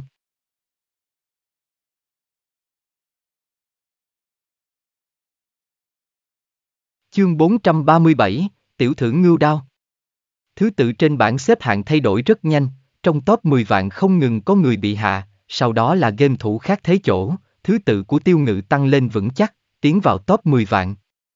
Nhoáng một cái đã 3 giờ trôi qua, vị trí thứ nhất của Triệu Lam Hình không hề thay đổi, điểm tích lũy đạt tới một con số kinh khủng hơn 100 vạn, tiêu ngự lúc này mới xếp thứ hơn 9 vạn, dù sao chỉ cần lọt vào top 10 vạn là được. Hai người tiến vào vòng đấu thứ hai. Mấy chủ rất nhanh tiến hành công tác thống kê thực lực của các game thủ. Hệ thống, bạn được phân tới nhóm S. Hệ thống, bạn cùng Triệu Lam Hinh được phân vào nhóm SS. Xếp hạng càng cao thì ý nghĩ muốn trong trận đấu biểu diễn càng ít, hơn nữa còn phải chuẩn bị tiếp nhận khiêu chiến của những người xếp sau. Các trận thi đấu đã được bắt đầu, lần thi đấu này có thể nói là thu hút toàn bộ các game thủ, từ trước tới nay chưa từng có, có hơn một nửa người chơi tham gia thi đấu, bị loại rất nhiều, đối với việc không thể vào chung kết thì đem ánh mắt tập trung quan sát các trận đấu. Tất cả các trận đấu đều có màn hình tiếp sóng trực tiếp, mọi người đều có thể quan sát đến người chơi mà mình yêu thích. Trong đó thì tiêu ngự được quan tâm nhiều nhất, sau trận tranh tài cùng thứ đao, danh tiếng của tiêu ngự càng lên cao, không ai không biết tiêu ngự cùng Triệu Lam Hinh trở lại trụ sở của lời thề, trụ sở của lời thề tụ tập mấy ngàn người chơi, những người này đều là những người tiến vào vòng 2, bon họ top 5 top 3 ngồi nói chuyện phím với nhau, thấy tiêu ngự cùng Triệu Lam Hinh trở về đều tới bắt chuyện. Trận đấu bắt đầu rồi. Trong trụ sở một đám người được truyền tống đến sân đấu, bắt đầu thi đấu. Ngươi bị phân đến tổ nào? Phong giả hỏi. S tổ, cùng Tiểu Lam tổ đội phân SS tổ tiêu ngự đem tình hình phân đội ra nói một chút. Hạng mục 1 VSC1, S tổ có hơn 600 người, SS tổ thì có hơn 60 người, SSS tới giờ thì chưa có. Chia ra như vậy thì đánh không ít đâu, Phong giả gật đầu nói. Còn phải lo người phía sau khiêu chiến nữa, tiêu ngự nói. Phong giả cười nói, ai mà lại không có mắt đi khiêu chiến ngươi. Tiêu ngự sững sờ, nghĩ lại thấy cũng đúng. Những game thủ kia chắc chắn sẽ không khiêu chiến tiêu ngự, họ sẽ khiêu chiến những kẻ yếu, tránh tiêu ngự ra, cố gắng lọc vào top 10, rồi tại trận chung kết đánh bại tiêu ngự bởi vậy, tiêu ngự hoàn toàn có thể nhàn nhã quan sát các trận đấu, đợi đến khi khiêu chiến gần kết thúc thì xông lên top 10. Tiên vào trận chung kết. Phong thần phải thi đấu rồi, chúng ta quan sát xem, phong giả nói. Tiêu ngự mở màn hình ra, nhìn về phía phong giả hỏi, đoàn đôi chiến chừng nào bắt đầu. Sau khi tổ đội chiến chấm dứt, tiêu ngự gật đầu, thời gian vừa đủ. Bởi vậy hắn cùng Triệu Lam Hinh có đầy đủ thời gian chuẩn bị, tổ đội chiến thi đấu phải 3 ngày mới hết. Nộp kim tệ cho hệ thống, tiêu ngự cùng Triệu Lam Hinh mở ra màn hình. Phong thần, phong ẩn, phong địch ba người tổ đội tham gia thi đấu 3 vs 3 đấu với một cái SS đoàn đội, đối phương là chiến sĩ, pháp sư, ám vu, phong ẩn xông lên trước tiến vào trạng thái tìm hành. Phong thần chống lại chiến sĩ, phong địch tiện tay cho đối thủ mấy cái nguyền rủa thuật. Hai bên chiến đấu kịch liệt cùng một chỗ, tung loại mọi loại chiến thuật phối hợp. Hình thức 3 vs 3 cũng rất chú trọng tới kỹ năng phối hợp đồng đội, đội của phong thần phải nói là khá mạnh. Chả trách phong giả nói tổ đội 3 vs 3 họ có thực lực giành chức quán quân. Quả nhiên, ba người phong thần rất nhanh chiếm được thế chủ động, phong thần vững vàng áp chế chiến sĩ. Phong ẩn lợi dụng ưu thế tốc độ khống chế ám vu, qua vài lượt giao thủ ám vu nhanh chóng bị đánh chết, sau đó nhanh chóng tiến về phía chiến sĩ. Chiến sĩ của đối phương không có trị liêu, phong thần rất nhanh áp đảo đối phương, cùng với phong ẩn phối hợp xử lý, phong ẩn bị pháp sư của đối phương đánh chết, còn lại phong thần với phong địch nhanh chóng kết thúc pháp sư. Ba người bọn họ phối hợp thế nào? Phong giả hỏi, hy vọng tiêu ngự nhận xét. Phong thần cùng phong địch phối hợp cũng không tệ, phong ẩn thì không được tốt lắm cần phải phối hợp nhiều hơn, nếu tốc độ của phong ẩn nhanh hơn chút nữa thì tốt, nên kiếm cho hắn mấy cái kỹ năng gia tốc, dù sao đạo tặc chú yếu dựa vào tốc độ, tốc độ không đủ nhanh thì đối với pháp sư không có uy hiếp, tiêu ngự nói ra suy nghĩ của mình. Nhưng hắn cũng không dám đưa ra quá nhiều ý kiến vì mỗi người có một sở trường riêng, tiêu ngự không dám đảm bảo lời khuyên của hắn có hữu dụng không, cho nên hắn chỉ nói chung chung. Phong giả suy nghĩ rồi gật đầu nói, ta sẽ phái người đi tìm, nếu mà không được thì để cho mấy đoàn đội đi săn bốt, tổ đội 3 vs 3 ngoài phong thần, lời thề còn phái ra 7 đội ngũ, thực lực cũng không tệ lắm, chuẩn bị nếu mà không giành được quán quân thì cũng phải giành mấy cái trong top 10, tổ đội 5 VSC 5 phong giả cũng phái ra 8 đội. Phong giả lại để cho tiêu ngự chỉ điểm họ. Cải tiến chiến thuật để giành quán quân. Tiêu ngự tùy ý xem các trận 1 VSC 1, càng xem càng thấy nhiều gương mặt quen thuộc chanh, kẹo sa ngã, tiểu đao, thư sinh, v, v. Mà ngay cả hầu tử cũng có. Ngoài ý muốn của tiêu ngự là hầu tử cũng ở trong SS tổ, nói không chừng có thể lọt vào top 10 đến tham gia thi đấu. Trong hai VSC 2 tiêu ngự còn phát hiện ra toàn luật cùng toàn phong, nói không chừng đến trận chung kết có thể gặp được bọn hắn. Ngoại trừ những người quen, còn một số gương mặt mới kỹ thuật cũng không tệ lắm, hơn nữa nhiều người có chiến thuật rất kỳ lạ. Trong thế giới game này luôn luôn không thiếu những cao thủ mai danh ẩn tích, nhưng hiện tại vì phần thưởng là thần khí mà không ít người xuất hiện. Cuộc chiến ngày càng thú vị hơn rồi, tiêu ngự tưởng tượng trận chung kết chính là long tranh hổ đấu. Chúng ta đi luyện tập một chút đi, tiêu ngự nói với Triệu Lam Hinh, SSS tổ còn chưa có người nào, phải thắng liên tục 10 trận thì mới có thể lên cấp. Ừm, Triệu Lam Hinh đáp. Tiêu ngự cùng Triệu Lam Hinh tùy tiện chọn một đội ngũ để đánh một trận. Các người chơi đang theo dõi các trận đấu qua màn hình, những trận đấu đều phi thường đắt sắc, hấp dẫn rất nhiều người, nhưng đồng thời họ cũng phát hiện tiêu ngự không có thi đấu đây quả thực là điều tiếc nuối. Tiêu ngự ra sân. Ở đâu?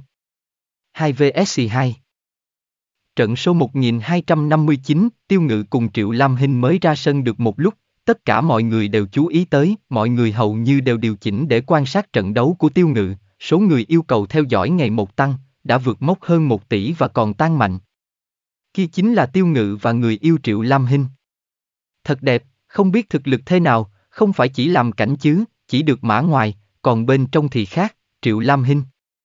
Hình như là người đứng đầu bảng điểm tích lũy, hình như là vậy, thực lực chắc sẽ không yếu, ít nhất không phải để làm cảnh Triệu Lam Hinh vừa ra sân đã thu hút ánh mắt không ít người. Một mặt vì dung nhan xinh đẹp, mặt khác là vì tiêu ngự. Triệu Lam Hinh ít xuất hiện trước mặt mọi người.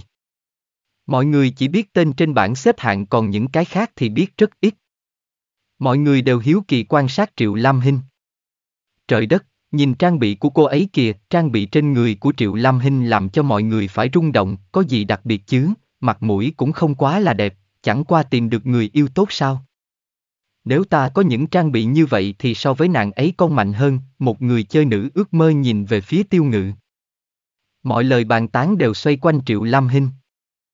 Có khen có chê, thậm chí còn cả tin đồn. Tiêu Ngự và Triệu Lam Hinh được đưa đến sân thi đấu, đối thủ của họ là một chiến sĩ, một Đức Lỗ Y chiến sĩ và Đức Lỗ Y nhì thấy Tiêu Ngự và Triệu Lam Hinh ở phía đối diện cảm thấy choáng váng.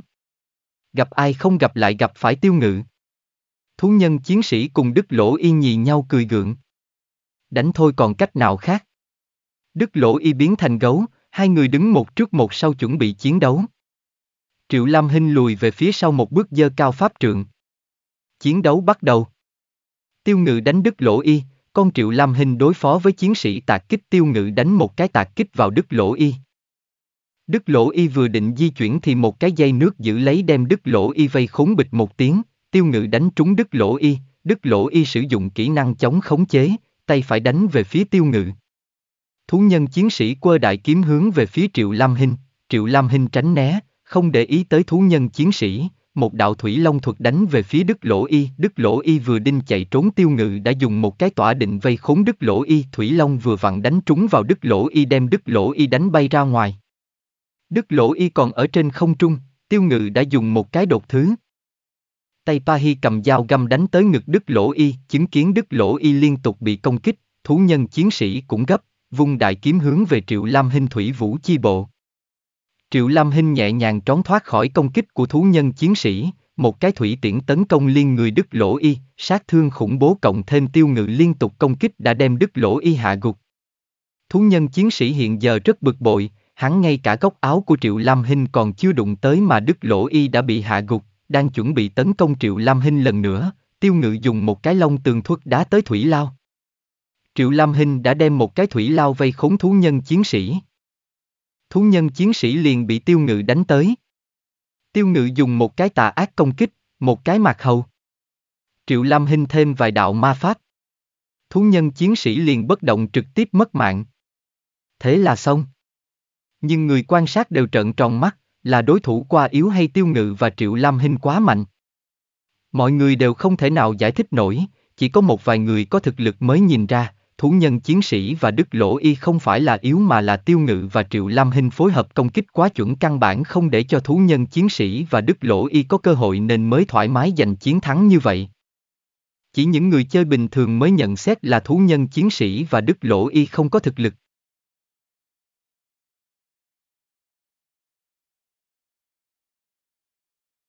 Chương 438, Tử Thần Tiêu Ngự với Triệu Lam Hình sau khi trận đấu kết thúc liền bị truyền tống đi, nhưng người quan sát trận đấu vẫn còn khiếp sợ, nhiều người vẫn còn chưa lấy lại tinh thần. Có người để ý thời gian từ lúc bắt đầu đến lúc kết thúc chỉ vỏn vẹn có 16 giây, trong vòng 16 đã kết thúc một trận đấu. Quá mạnh, không hổ là đệ nhất đạo tặc của tà ác liên minh, đúng vậy, Triệu Lam Hinh kia cũng không tồi. Mọi người chú ý đến Triệu Lam Hinh cũng chỉ vì tiêu ngự, nhưng sau trận đấu này, mọi người cũng nhìn ra thực lực của Triệu Lam Hinh, Triệu Lam Hinh cũng không chỉ có vẻ bề ngoài. Sát thương có thể mạnh ngang với hỏa hệ pháp sư, năng lực khống chế tốt cộng thêm khả năng trị liệu không kém vu sư đã đủ để đứng đầu trong hàng ngũ pháp sư. Một người đứng đầu của thủy hệ pháp sư cùng với đệ nhất đạo tặc tà ác liên minh, tổ hợp của hai người này là ứng cử viên nặng ký cho chức vô địch. Mọi người hưng phấn phân tích clip tiêu ngự với Triệu Lam Hinh đánh bại thú nhân chiến sĩ cùng Đức Lỗ Y, họ quan sát đến từng chi tiết nhỏ, nhất là những người cũng tham gia giành chức quán quân 2vsc2, mong muốn tìm ra nhược điểm của Tiêu Ngự và Triệu Lam Hinh. Chính vì vậy Tiêu Ngự và Triệu Lam Hinh đã trở thành đề tài hot nhất. Minh Dạ Thành, quan ba dạ lâm trong ánh đèn lờ mờ, có một đạo tặc và một pháp sư ngồi nói chuyện với nhau, trên người họ mặc vài món trang bị trên dưới 30 cấp, nhưng nhìn quá phổ thông nên không thể nhìn ra là hệ gì. Pháp sư đảo mắt nhìn xung quanh tự như thợ săn tìm kim con mồi sinh ý lần trước thế nào. Đạo tặc hỏi, cung không tệ lắm, kiếm được hơn trăm vạn kim tệ. Pháp sư nói, nhưng ánh mắt hắn đang hướng tới một cô gái trêu trọc. Lần này buôn bán lời hơn 5.000 vạn. Đúng vậy, chính xác là 5.312 vạn. Pháp sư nói, rồi lại hướng về hướng cô gái kia nâng ly rượu lên, sau đó uống cạn.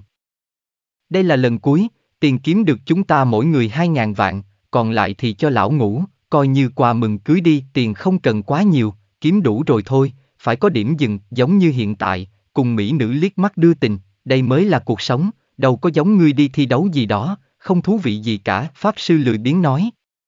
Xem cái này đi, đạo tặc đưa màn hình cho Pháp Sư xem. Tiêu ngự. Có phải là đệ nhất đạo tặc tà ác liên minh? Ngươi thấy thế nào? Chung kết 2 vs 2 có thể chúng ta sẽ gặp bọn họ, Pháp Sư tùy ý bỏ màn hình qua một bên nói, nhìn không giống với như tưởng tượng. Ngươi biết ta mấy cái loại này không nghiên cứu mà, không bằng xem AV, cô gái bên cạnh tiêu ngự trông rất được, trong mắt ngươi ngoài đàn bà thì còn có gì, Sâm muộn gì cũng có ngày chết trên bụng nữ nhân, ý kiến hay đó, một kiểu chết không tệ, Pháp Sư không để ý nói, vẫn vẫy tay với cô gái kia. Cô gái kia đang đi tới, sau khi tới liền chủ động ngồi xuống, cổ áo lộ ra đôi nhũ phong. Anh chàng đẹp trai này, muốn vui đùa sao? Cô gái kia kiều Mỹ nói. Đương nhiên, chúng ta sẽ chơi một trò chơi rất kích thích, Pháp Sư nói xong liền kéo lấy tay đối phương, không cho cơ hội phản kháng, đi tới một góc tối của quán bar rồi đặt cô gái lên trên bàn. Đừng làm ở đây, chỗ này không được, cô gái có chút hoảng loạn nói, cô còn chưa từng làm thử việc này trước mặt người khác.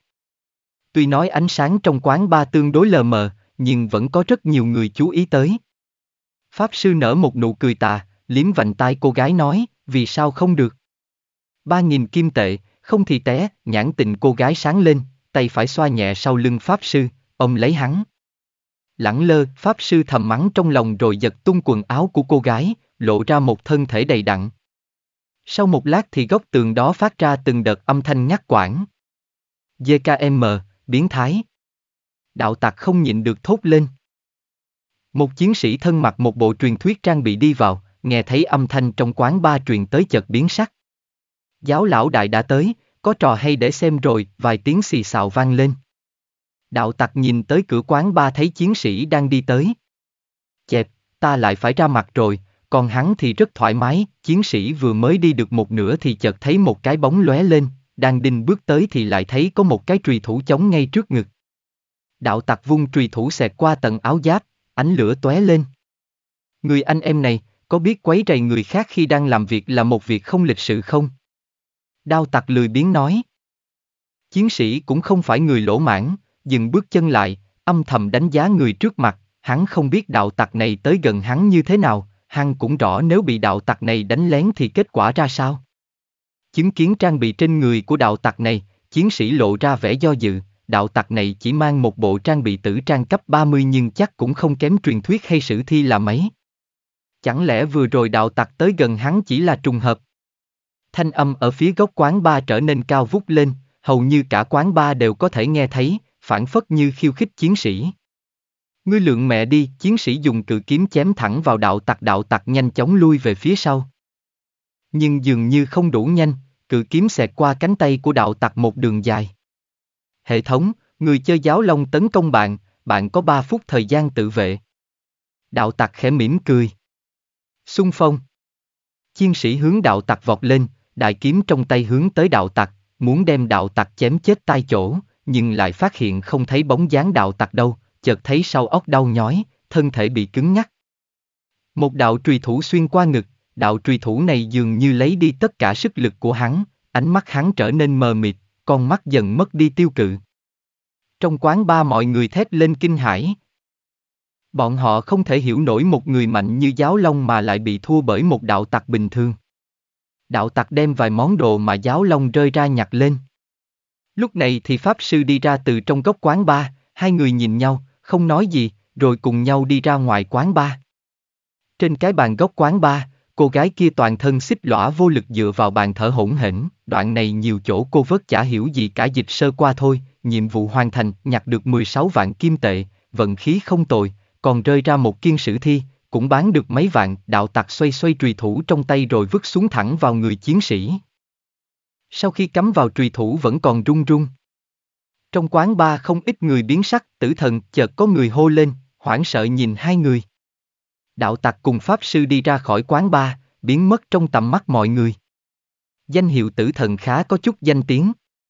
Tử thần có hai người một thích khách, một Pháp Sư tên là Tri Phong, Tri Vũ. Bọn hắn chuyên giao dịch giết người, ám sát, chỉ cần đủ tiền, bọn hắn sẵn sàng ám sát bất cứ ai trong trò chơi kết thù kết oán với rất nhiều người. Tri Phong và Tri Vũ là hai người nổi bật nhất trong các ám sát giả. Ám sát hơn 100 người không thất bại, trong đó có một người bị giết tục tới không cấp rơi toàn bộ mọi trang bị. Lúc đó danh hiệu tử thần mới dần nổi lên, giá tiền thuê ám sát cũng càng cao. Không có một người nào trêu chọc họ còn sống sót, nên danh hiệu tử thần thậm chí còn cao hơn so với đệ nhất đạo tặc tà ác liên minh một chút. Tri Phong có một thói quen kỳ lạ mỗi lần giết người đều dùng truy thủ bình thường nhất, đồ sóc trắng không dòng, sau khi giết người đều vứt bỏ, đâm vào thi thể đối phương. Thói quen này chỉ Tri Phong mới có, cho nên mọi người ở trong quán ba mới nhận ra được. Nếu không có hành động đó thì ai cũng không thể tưởng tượng được hai người mặc trang bị bình thường kia chính là tử thần tiếng tâm lừng lẫy. Sau một hồi phong ba, quan ba lại khôi phục lại bình thường, mọi người lại say sưa nói chuyện không có gì đặc biệt. Về sau có tin tức, giáo long kia bị giết tục về cấp 50, trang bị đến một món cũng không còn. Về phần ai là người thuê thì cũng không rõ, dù sao thì giáo long cũng đắc tội với rất nhiều người.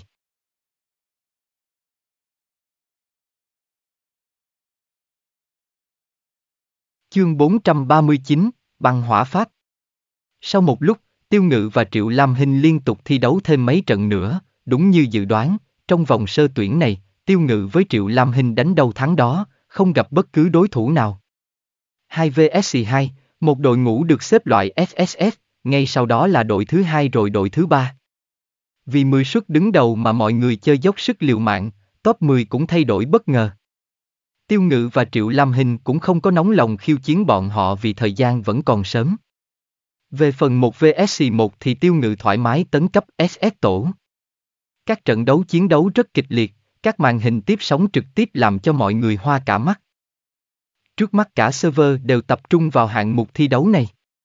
Những cao thủ sau khi bị thua trận thì có một số người được mời làm bình luận viên, họ giải thích về các chiến thuật thường dùng, chiêu thức vờ vờ. Nên người chơi bình thường cũng hiểu ra. Suốt hai ngày thời gian, không khí cạnh tranh bao trùm tất cả các trận đấu và dần đi tới thời khắc mấu chốt. Các xếp hạng đầu tưởng như đã ổn định nhưng căn bản là thời khắc kịch liệt nhất còn chưa đến. Tiêu Ngự và Triệu Lam Hinh đã lấy được tư cách khiêu chiến top 10. Chúng ta khiêu chiến đội nào? Triệu Lam Hinh hỏi. Đội thứ năm, Tiêu Ngự nói, mục tiêu của họ là trận chung kết, nếu thắng được đội xếp thứ năm, thì hai người bọn họ sẽ được xếp thứ năm, còn đội thứ năm vào các đội xếp sau mỗi đội giảm một bậc, cứ như vậy thì có thể vững vàng tiến vào trận chung kết. Lần khiêu chiến này cũng không có nhiều.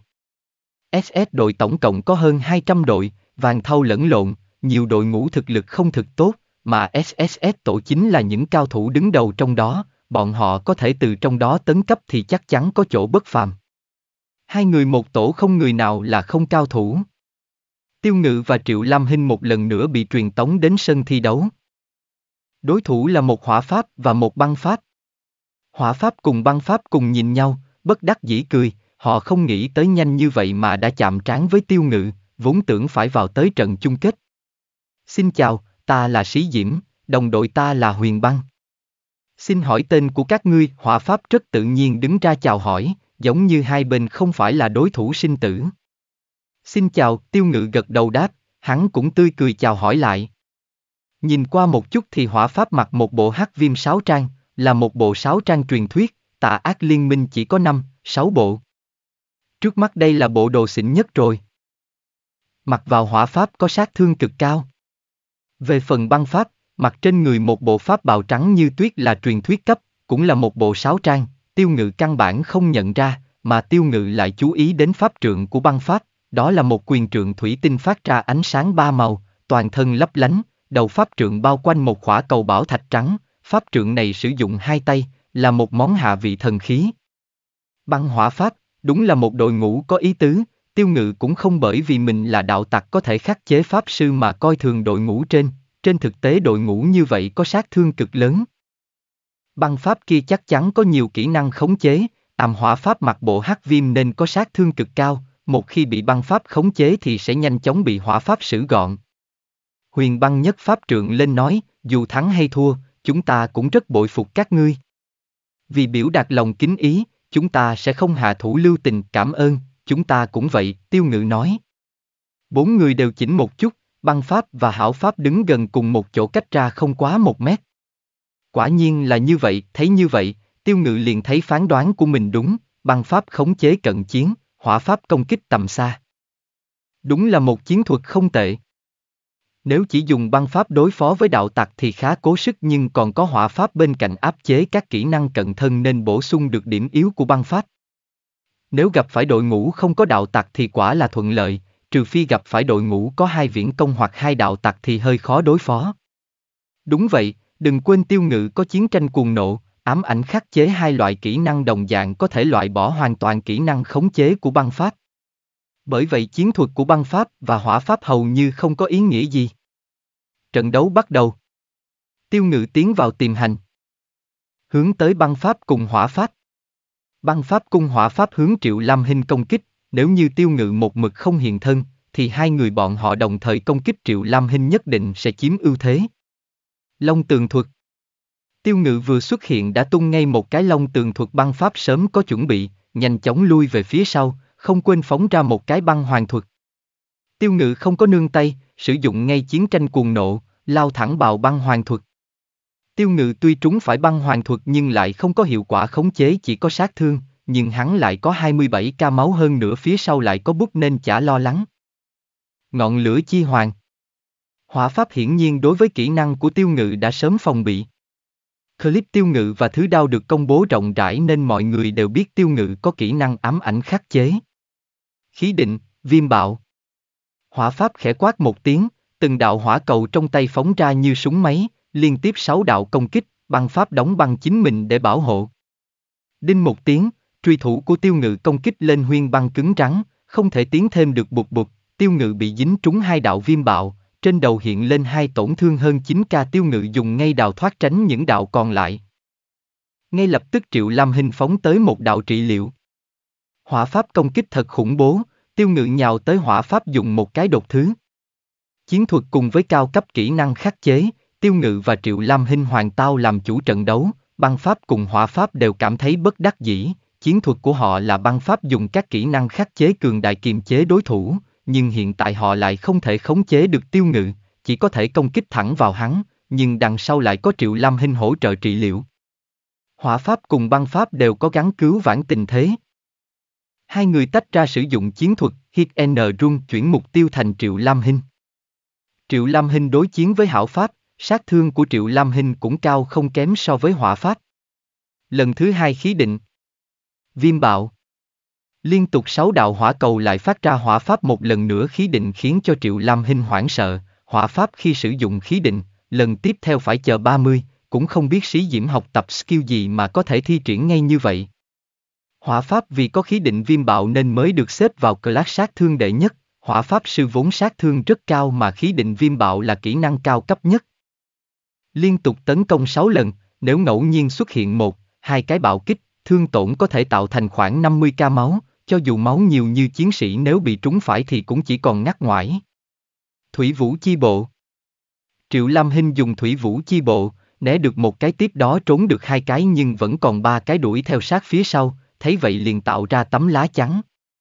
Ba đạo viêm bạo công kích trúng Triệu Lam Hinh gây sát thương hơn 11 ca, Triệu Lam Hinh liền dùng ngay trị liệu thuật thì lại thấy một đạo hảo cầu bay tới. Triệu Lam Hinh lần đầu tiên cảm giác được hỏa pháp khi PK mạnh như vậy, liên tục sử dụng trị lưu thuật lên bản thân. Tiêu ngự thì đang đánh cho băng pháp liên tục thối lui, băng pháp sử dụng hầu như mọi kỹ năng để trốn chạy, nhìn thấy có vẻ chật vật triệu lam hinh tiện tay dùng thủy thực thuật trói băng pháp lại. Không thể không nói, chiêu này của triệu lam hinh hiệu quả phi thường, băng pháp bị trói lại, tiêu ngự liền dùng lông cốt nha đâm vào băng pháp, băng pháp bị dính liền năm cái nguyên rủa thuật trở tay không kịp, vòng ra đằng sau băng pháp đâm một cái trọng thương, sau đó là giảo sát không cho băng pháp có cơ hội chạy trốn. Thời gian trước tiêu ngự đã nâng giảo sát lên tới đỉnh cấp, công thêm trang bị tăng kỹ năng. Giảo sát cấp 19, mỗi giây mất 300 điểm cộng thêm trọng thương xuất huyết mỗi giây 500 điểm. Băng pháp sau khi bị dính giảo sát liền chạy ra ngoài nhưng hắn chợt phát hiện dù chạy được thì cũng chết, máu của hắn còn có hơn 3k, sau vài giây thì băng pháp ngã trên mặt đất. Băng pháp chắc chắn chết nên tiêu ngự cũng không đuổi theo mà dùng một cái đột thứ xông về phía hảo pháp. Nê chiểu thuật Sa lầy, Triệu Lâm Hinh dùng nê chiểu thuật vây hãm hỏa pháp, tiêu ngự dùng đột thứ đánh trúng, năng lượng tích lũy vừa đủ, sử dụng bạo liệt liền đem hỏa pháp giết chết. Nhìn thấy hỏa pháp ngã xuống. Tiêu ngự đem trùy thủ gắt vào bên hông mỉm cười, đối thủ tuy không yếu, tố chất cao, nếu như chiến thuật không phải bị khắc chế thì chắc tiêu ngự với Triệu Lam Hinh sẽ không thắng dễ dàng đến vậy băng pháp cùng hảo pháp được phục sinh lại, hai bên nói chuyện một hồi rồi bị truyền tống đi, xếp hạng năm, phía trước chắc không có gì thay đổi, vào trận chung kết chắc không có vấn đề gì.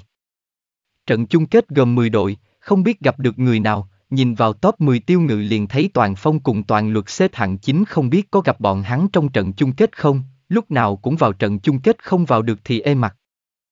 Không biết bọn phong thần thế nào rồi, tiêu ngự nhìn thoáng qua 3 vs 3 thấy ba người phong thần đang đứng đầu, vào trận chung kết chắc không có vấn đề gì. 5 vs 5 đứng đầu là đội ma vực, mà thứ đao lại gia nhập vào ma vực, ma vực an thủ hạ của phong giả, nhưng lạc đà gầy còn hơn ngựa béo, thực lực của ma vực cũng không thể khinh thường, hơn nữa còn có thứ đao, giành lấy quán quân 5 vs 5 chắc không có vấn đề gì.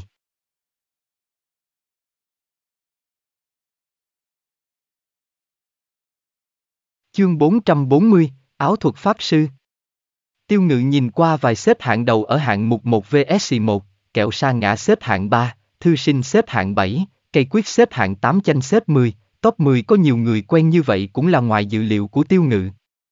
Bài danh đệ nhất là một thú nhân chiến sĩ, tên là Đao Kiếm, bằng lôi pháp sư thương minh xếp hạng 2, người này tiêu ngự cũng chưa từng nghe qua. Ngươi đã giao thủ với hai người phía trước chưa? Tiêu ngự hỏi kẹo sa ngã, kẹo sa ngã bài danh thứ ba, nên chắc hắn đã giao thủ với họ rồi. Rồi. Ngươi thua sao? Thua. Kẹo sa ngã nói, trong lời nói còn có vài phần uể oải. Tiêu ngự hiểu rất rõ thực lực kẹo sa ngã, tuy so với hắn kẹo sa ngã có kém hơn một chút, nhưng cũng không nhiều, có thể đánh bại kẹo sa ngã, hai người đó với tiêu ngự sàng sàng như nhau. Xem ra trong trận thi đấu chung kết không cần lo lắng không tìm thấy đối thủ. Hai người bọn họ đều là đại nguyên soái, trên người mặc đại nguyên soái sáu trang. Kẹo sa ngã cung cấp cho tiêu ngự một cái tin tức quan trọng. Thú nhân chiến sĩ đại nguyên soái và băng lôi pháp sư đại nguyên soái, đúng là có ý tứ. Tiêu ngự sờ sờ chủy thủ trong tay, mỉm cười, từ sau khi khiêu chiến lưỡi lê, đã lâu hắn không có hưng phấn và kích động như vậy. Tiêu ngự lập tức đánh bại một ngoạn gia trong SS tổ, đạt được tư cách khiêu chiến, hắn chuẩn bị khiêu chiến một người chơi xếp hạng 4, dĩ nhiên là một cái nữ địa tinh pháp sư, một người chơi nữ tính không ngờ lại tự hủy dung mạo, lựa chọn địa tinh chủng tộc. Địa tinh chủng tộc cũng thuộc tà ác liên minh, sinh sống ở phía bắc ân trạch tư đại lục, bởi vì đặc thù của địa tinh rất xấu, cái đầu lại phi thường thấp bé, người chơi chọn địa tinh rất ít, nhưng cũng không thể nói chủng tộc địa tinh yếu nhược. Mà ngược lại, địa tinh pháp sư cũng có chút danh tiếng trong ân trạch tư. Bởi vì thiên phú của địa tinh là gia tăng trí tuệ và tinh thần, địa tinh pháp sư so với pháp sư cùng cấp của chủng tộc khác, thuộc tính tinh thần cùng trí tuệ có thể cao hơn đến 30%, giá trị ma pháp và sát thương của địa tinh pháp sư cũng cao hơn không ít.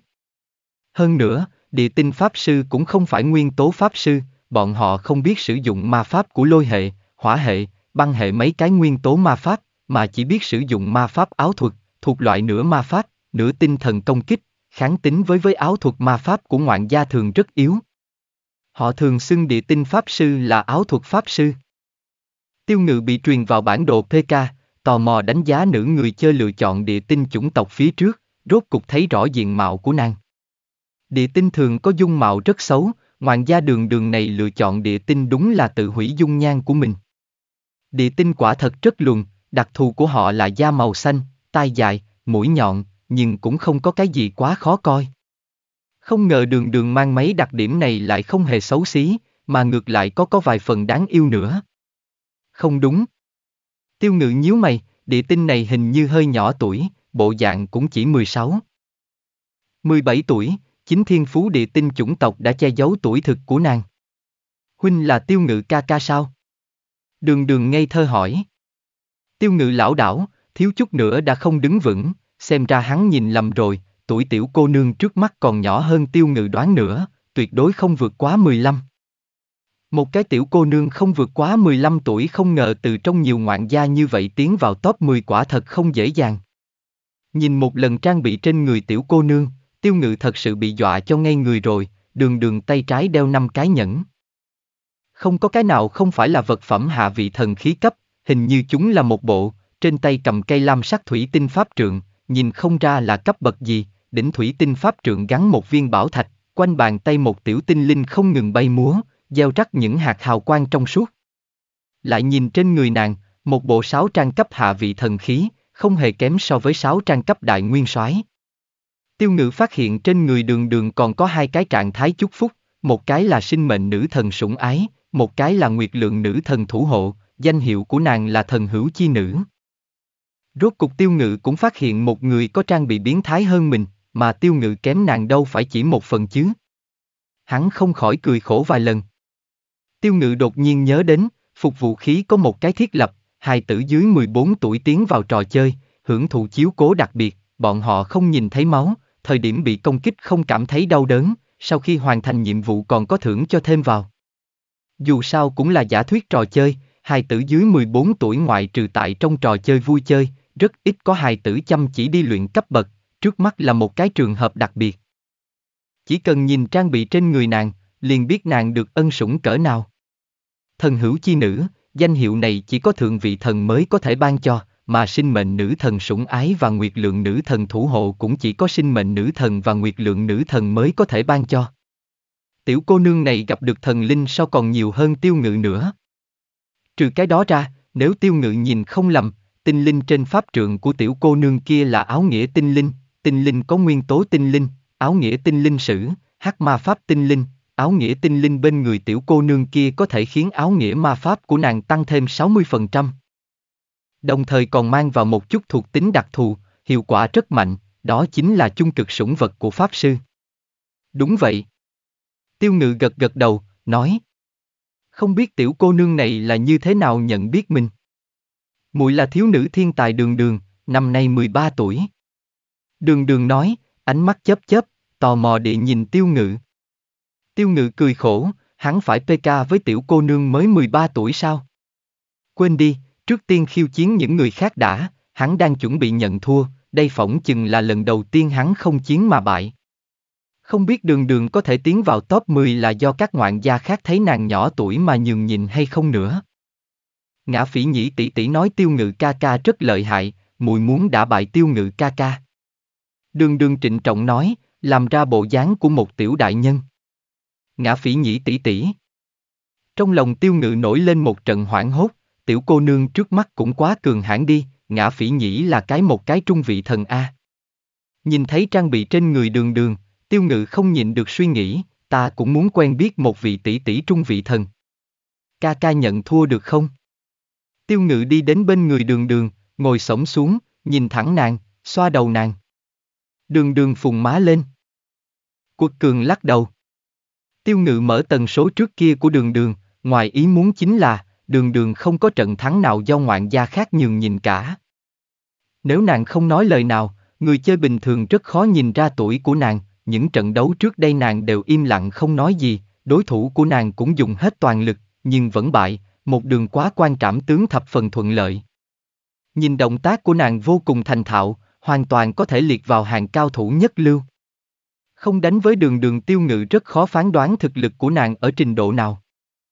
Hơn nữa trong các trận đấu trước, nàng không hề dùng toàn lực. Số liệu sát thương của nàng cao hơn Triệu Lam Hinh rất nhiều. Tiêu ngự bắt đầu nhìn thẳng tiểu cô nương trước mắt này, tiểu cô nương trước mặt này thật sự hoàn toàn xứng đáng là thiên tài thiếu nữ. Mùi muốn đường đường chính chính đã bại tiêu ngự ca ca. Đường đường kiên quyết nói. Nếu như thua thì không được khóc nhà. Tiêu ngự nhịn không được vuốt mũi đường đường một cái, nói. Vâng. Tiêu ngự cũng không định hạ sát thủ, coi như là cùng đường đường chơi một chút, dù sao tiêu ngự cũng có đầy đủ thời gian. Còn có cơ hội khiêu chiến lần thứ hai, hai người đi tới vị trí cách nhau hơn 20 mã. Trận đấu bắt đầu.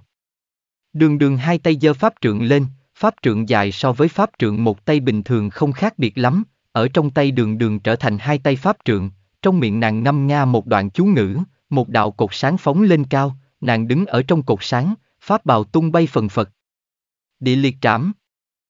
Một đạo năng lượng vô cùng mạnh mẽ hướng tiêu ngự đánh tới, nhất thời đá vụn bay loạn, mặt đất bị cắt ra một đường sâu hoắm. Tiêu ngự nghiêng người độn hình. Nhanh chóng né tránh. Quanh một tiếng nổ, ở vị trí tiêu ngự vừa đứng, phạm vi năm mã xung quanh bị sang thành đất phẳng. Kỹ năng thật mạnh. Tiêu ngự liếu lưỡi không thôi, không coi thường công kích của đường đường, tiểu cô nương trước mắt tuy rằng chỉ có 13 tuổi, nhưng lại được rất nhiều nữ thần chiếu cố A, áo thuật chân ý. Một đạo năng lượng vô hình quét ngang sông tới, phạm vi không nhỏ hơn mộng yểm của Triệu Lam Hinh chút nào, đều là phạm vi công kích kỹ năng. Một thanh âm trầm thấp vang lên, tiêu ngự đang ở trong trạng thái tìm hành bị áo thuật chân ý của đường đường đánh trúng. Chỉ cảm thấy lồng ngực đã bị một kích thật mạnh, thân hình chậm rãi hiện ra. Nhìn qua huyết lượng bản thân, bị đánh rớt hơn 8 ngàn. Áo nghĩa nhất kích. Một đạo quan cầu màu đen hướng tiêu ngự đánh tới, tiêu ngự vội vàng một cái tiêu thất, đem đạo áo nghĩa nhất kích ngăn chặn. Tốc độ công kích của đường đường rất nhanh, liên miên không dứt, nắm bắt thời cơ rất khá, từ kỹ thuật nàng nắm giữ, rất khó tưởng tượng nàng năm nay mới 13 tuổi. Hơn nữa nàng trang bị tốt thái quá, kỹ năng rất nhiều dùng mãi không hết, khiến tiêu ngự ăn thiệt thòi không nhỏ. Nếu có người dám coi thường tiểu cô nương trước mắt, tuyệt đối phải trả giá. Nếu như không xuất ra bản lãnh, sợ rằng thất bại rất thảm, tiêu ngự cười khổ sờ sờ mũi. Tinh linh kết giới Tinh linh trên đỉnh pháp trượng của đường đường đột nhiên bay lên, bay một vòng xung quanh đường đường, một đạo hào quang từ bên người nạn khuếch tán ra ngoài, bao trùm khu vực hơn 30 mã chung quanh, trên người tiêu ngự bị gieo rắc mấy cái điểm sáng, những điểm sáng này làm bại lộ vị trí tiêu ngự. Ở đây, đường đường hưng phấn mà huy vũ pháp trượng. Áo thuật chấn kích. Một làn sóng địa chấn chậm rãi khuếch tán ra bên ngoài. Đây là kỹ năng gì? Thật là mạnh. Tráng tiêu ngự đầy mồ hôi lạnh, vòng sóng địa chấn đang tới gần, một chiêu long tường thuật hướng đường đường đá tới. Thông một tiếng, màn sáng bao phủ ở quanh người đường đường chẳng qua là ba động một chút, tiêu ngự cũng không có đánh trúng nàng. Đường đường từng đạo áo thuật phi đạn ném ra ngoài. Tiêu ngự một cái phản thủ bối thứ tránh áo thuật phi đạn, công kích vào quần sáng, quần sáng lại ba động một lần, cuối cùng tứ phân ngũ liệt. Mất đi bảo hộ, đường đường cũng không hề khẩn trương, biểu hiện hoàn toàn khác với một tiểu hài tử, nàng huy vũ pháp trượng hướng tiêu ngự đập xuống. Áo thuật trọng kích. Pháp trượng mang theo khí thế sắc bén, đúng là một cái cận chiến kỹ năng.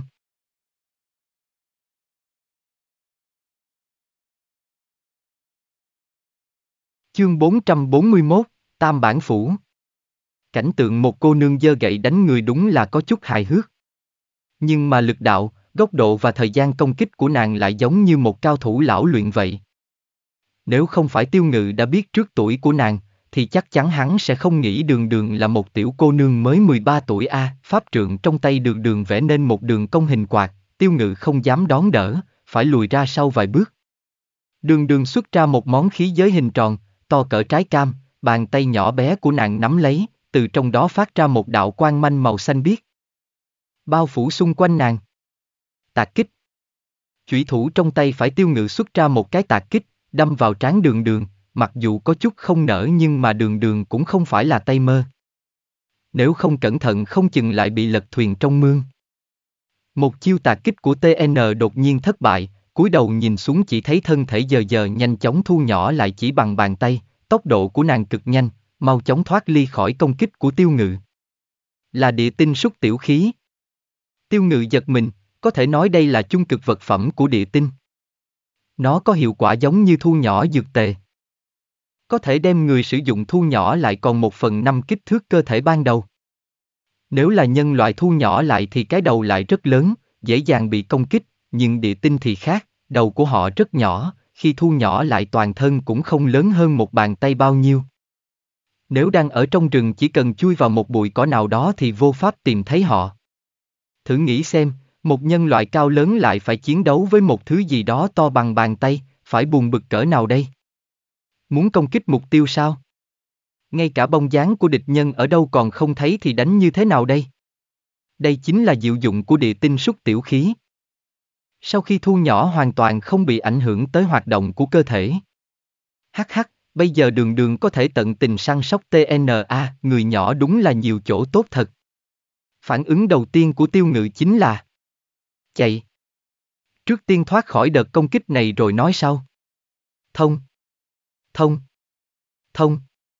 Đường đường phóng ra từng đạo ma pháp công kích tiêu ngự, tiêu ngự chỉ còn biết cắm đầu mà né tránh thôi.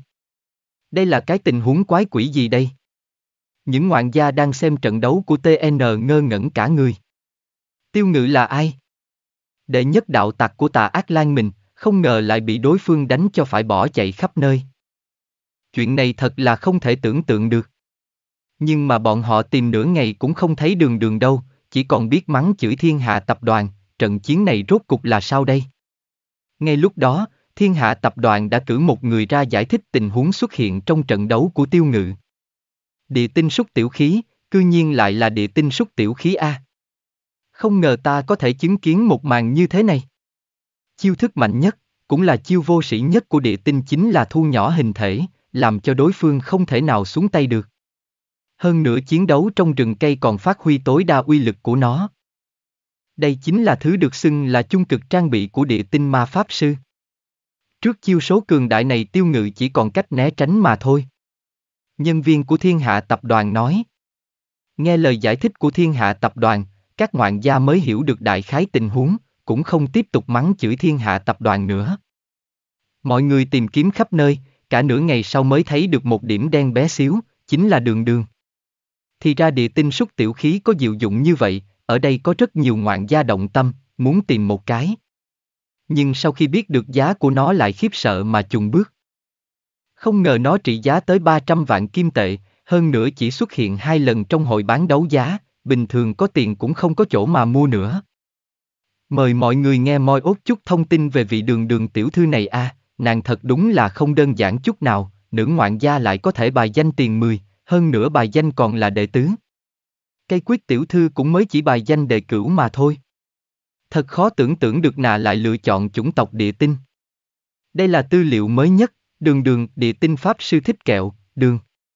Ây da, đường đường tiểu thư thật là cá tính a. Nàng thuộc chồng sao sư tử, tuổi thỏ, cái gì? Người dẫn chương trình đứng bật dậy, kêu lên rất khoa trương. Làm gì vây? Các ngoạn gia không khỏi nói ta, vừa rồi thanh âm của tên dẫn chương trình kia thực quá chói tai đi. Người dẫn chương trình nhìn đi nhìn lại, xác nhận không có nhầm lẫn mới bắt đầu run run nói, vị đường đường tiểu thư này quá trẻ, hiện nay nàng chỉ mới 13 tuổi. Cái gì? Toàn trường ồ lên, nhìn trận đấu của tiêu ngự, trên mặt họ hiện lên một vẻ ngạc nhiên không tả. Một tiểu cô nương 13 tuổi lại có thể đạt tới trình độ như vậy, cái này sao có thể chứ? Nhưng mà đây là sự thật a. Hình như sự kinh ngạc về đường đường ở bên ngoài cũng không quan hệ gì tới nàng a. Ma pháp của đường đường phóng ra như bão tố, sát thương của nó cũng cao tới dọa người, một kích có thể xóa mất một vạn huyết lượng của tiêu ngự. Tiêu ngự không ngừng sử dụng các kỹ năng né tránh, nhưng cũng không thể tránh khỏi việc trúng phải vài đạo công kích. May mắn là tiêu ngự đã mở trạng thái chiến tranh cuồng nộ trước, nếu không đụng phải hiệu quả không chế thì hậu quả càng nghiêm trọng hơn. Phanh một tiếng, tiêu ngự lại trúng thêm một đạo ma pháp, nhìn lại huyết lượng của tiêu ngự chỉ còn lại 21%, tiêu ngự lấy trong ba lô ra một huyết bình thần thánh, trong nháy mắt huyết lượng hồi phục lại mãn giá trị. Tiêu ngự lại trúng thêm một đạo ma pháp nữa, một chiêu tật phong bộ thoát khỏi phạm vi của tinh kết giới, lúc này mới có chút cảm giác an toàn. Ra khỏi phạm vi kết giới, đường đường cũng không tìm thấy vị trí của tiêu ngự tinh linh truy tung. Đường đường mở ra tinh linh truy tung, hướng tới địa phương tiêu ngự chạy trốn đuổi theo. Tiêu ngự có chút choáng váng, sao tiểu gia hỏa này kỹ năng gì cũng có hết vậy? Hắn không dám chậm trễ, nhanh chóng chạy ra xa, mở lừa gạt khứu giác lên. Lại không tìm thấy hắn. Đường đường nhíu mày, biểu môi nói. Mỗi giây thời gian chậm rãi trôi qua, đường đường có chút sốt ruột. Bởi vì địa tinh xúc tiểu khí của nàng cũng có thời gian giới hạ. Áo thuật gió lốc. Đường đường thấp giọng, quát một tiếng, phía trước xuất hiện năm cơn lốc, tạo thành hình cánh quạt, chậm rãi di động tới phía trước. Áo nghĩa liệt diễm. Phạm vi 20 mét quanh đường đường hừng hực lửa cháy. Áo thuật lôi bạo. Trên bầu trời mây đen phi phủ, từng đạo lôi trụ oanh kích xuống mặt đất, tạo thành từng cái hố sâu hoắm. Trận đấu này đã trở thành nơi đường đường biểu diễn ma pháp mất rồi. Phàm là vị trí tiêu ngự có thể ẩn núp nàng đều không do dự mà phóng thích các loại ma pháp phạm vi. Cơ hồ đem cả mặt đất lật tung lên. Ma pháp tàn phá sân đấu thành một mảnh hỗn độn, mặt đất không chỗ nào còn nguyên vẹn. Tất cả các ngoạn gia đang quan kháng nhìn nhau hoảng sợ, tiểu cô nương này thật đáng sợ. Chỉ sợ trong một đoạn thời gian dài kết tiếp, đường đường sẽ ngồi ổn định trên ngai đệ nhất ma nữ của tà ác liên minh rồi. Trong tình cảnh ma pháp tàn pha khắp nơi như thế này, nếu đổi là bọn hắn thì chỉ sợ sẽ bị xé nát thành mảnh nhỏ, xương cốt cũng không còn lưu lại, tiêu ngự hết hồn tránh khỏi năm cơn lốc, thiếu chút nữa lại bị năm đạo lôi trụ đánh trúng. Nếu trúng phải hắn có thể tưởng tượng ra hậu quả như thế nào? Cho dù một đạo đơn thể công kích không thể xử lý hắn, nhưng khẳng định đường đường sẽ quản tới một đống lớn phạm vi ma pháp. Đây là hiệu quả to lớn do trang bị đem lại, trang bị trên người đường đường thật quá tốt, tiêu ngự và triệu lam hình cũng không thể so sánh được, không ngờ lại là một thân hạ vị thần khí. Nếu triệu lam hình có một thân trang bị như vậy tuyệt đối lợi hại hơn đường đường rất nhiều. Dù sao nàng cũng mới 13 tuổi, thực lực tuy mạnh nhưng kỹ thuật lại không thể so sánh với triệu lam hình được. Kỹ thuật của đường đường vẫn còn hơi non, nếu nàng có thể phối hợp tất cả các kỹ năng lại với nhau thì tiêu ngự căn bản không có cơ hội sống sót. Trong suốt 30 giây, tiêu ngự liều mạng né tránh ma pháp, xém chết vài lần, sau lưng đã thấm đẫm mồ hôi. 30 giây trôi qua, hiệu quả của địa tinh xúc tiểu khí biến mất, rốt cục đường đường cũng khôi phục lại trạng thái bình thường. Ẩn hình của tiêu ngự cũng đã kết thúc, hắn đang chuẩn bị phát động công kích. Không đợi tiêu ngự vọt tới bên người, đường đường khóc lóc thảm thiết, nói, ta thua. Tiêu ngự có chút sửng sốt, hình như hắn cũng không hề chiếm được bất cứ ưu thế nào. Sao đường đường lại đột nhiên nhận thua? Vì sao lại nhận thua? Còn có thể đánh tiếp được mà. Người ta còn chưa nghĩ ra tiếp theo nên đánh như thế nào. Ca ca cũng không có dạy a. À. Đường đường chu miệng nói. Còn chưa nghĩ ra đánh như thế nào. Nghe được lý do của đường đường, tiêu ngự không khỏi bật cười, tiêu ngự không khỏi tò mò về ca ca của đường đường. Có thể dạy dỗ một tiểu mùi bưu hãn như vậy, gia hỏa này cũng không đơn giản. Ca ca ta nói, nếu đánh nhau với người khác trước tiên dùng mấy chiêu kia. Nếu đánh không lại thì sử dụng địa tinh xúc tiểu khí, đánh gãy răng hắn, nếu còn không đánh lại nữa thì trực tiếp nhận thua, rồi sử dụng đại chiêu khóc nhè. Đường đường tức giận thuật lại lời ca ca nàng, tiêu ngự không khỏi bật cười. Chiêu này quả nhiên là vô lại, nhất là một chiêu khóc nhè kia. Lấy bộ dáng đáng yêu của đường đường, trừ kẻ vô tâm ác độc, trẻ không tha, già không bỏ ra thì có ai nhẫn tâm chứ. Tên ca ca của đường đường thật là đáng kinh quá đi, chiêu số như vậy cũng có thể nghĩ ra được, ta nói một cô gái 13 tuổi sao lại có trình độ biến thái tới mức này, thì ra nàng PK theo sách A tuy là đơn giản nhưng hiệu quả cũng rất lớn, dùng một loại sách lược như vậy tự nhiên sẽ quen tay hay việc thôi. Tiêu ngự ngồi sổng xuống, xoa xoa đầu đường đương đang thiểu não nói, ca ca muội là ai, có thể nói cho tiêu ngự ca ca biết không? Ca ca không cho muội nói. Huynh ấy nói ở trận chung kết huynh sẽ gặp được huynh ấy, đường đường nói, nàng giơ bàn tay nhỏ bé lên, ca ca gọi ta, tiêu ngự đại ca, lần sau gặp lại. Tái kiến. Tiêu ngự phất phất tay, cười nói. Không biết ca ca của đường đường là ai đây, một người có thể dạy một cô bé 13 tuổi lợi hai như vậy, thực lực của hắn chắc chắn phải cực kỳ lợi hại. Vì đường đường chủ động nhận thua, bài danh của tiêu ngự tăng lên, là đệ tứ. Tiêu ngự được truyền tống trở về. Trận chung kết ngày mai sẽ gặp được đối thủ như thế nào đây? Tiêu ngự không khỏi có chút chờ mong, đại nguyên soái thú nhân chiến sĩ. Băng lôi song pháp, giờ lại xuất hiện ca ca của đường đường.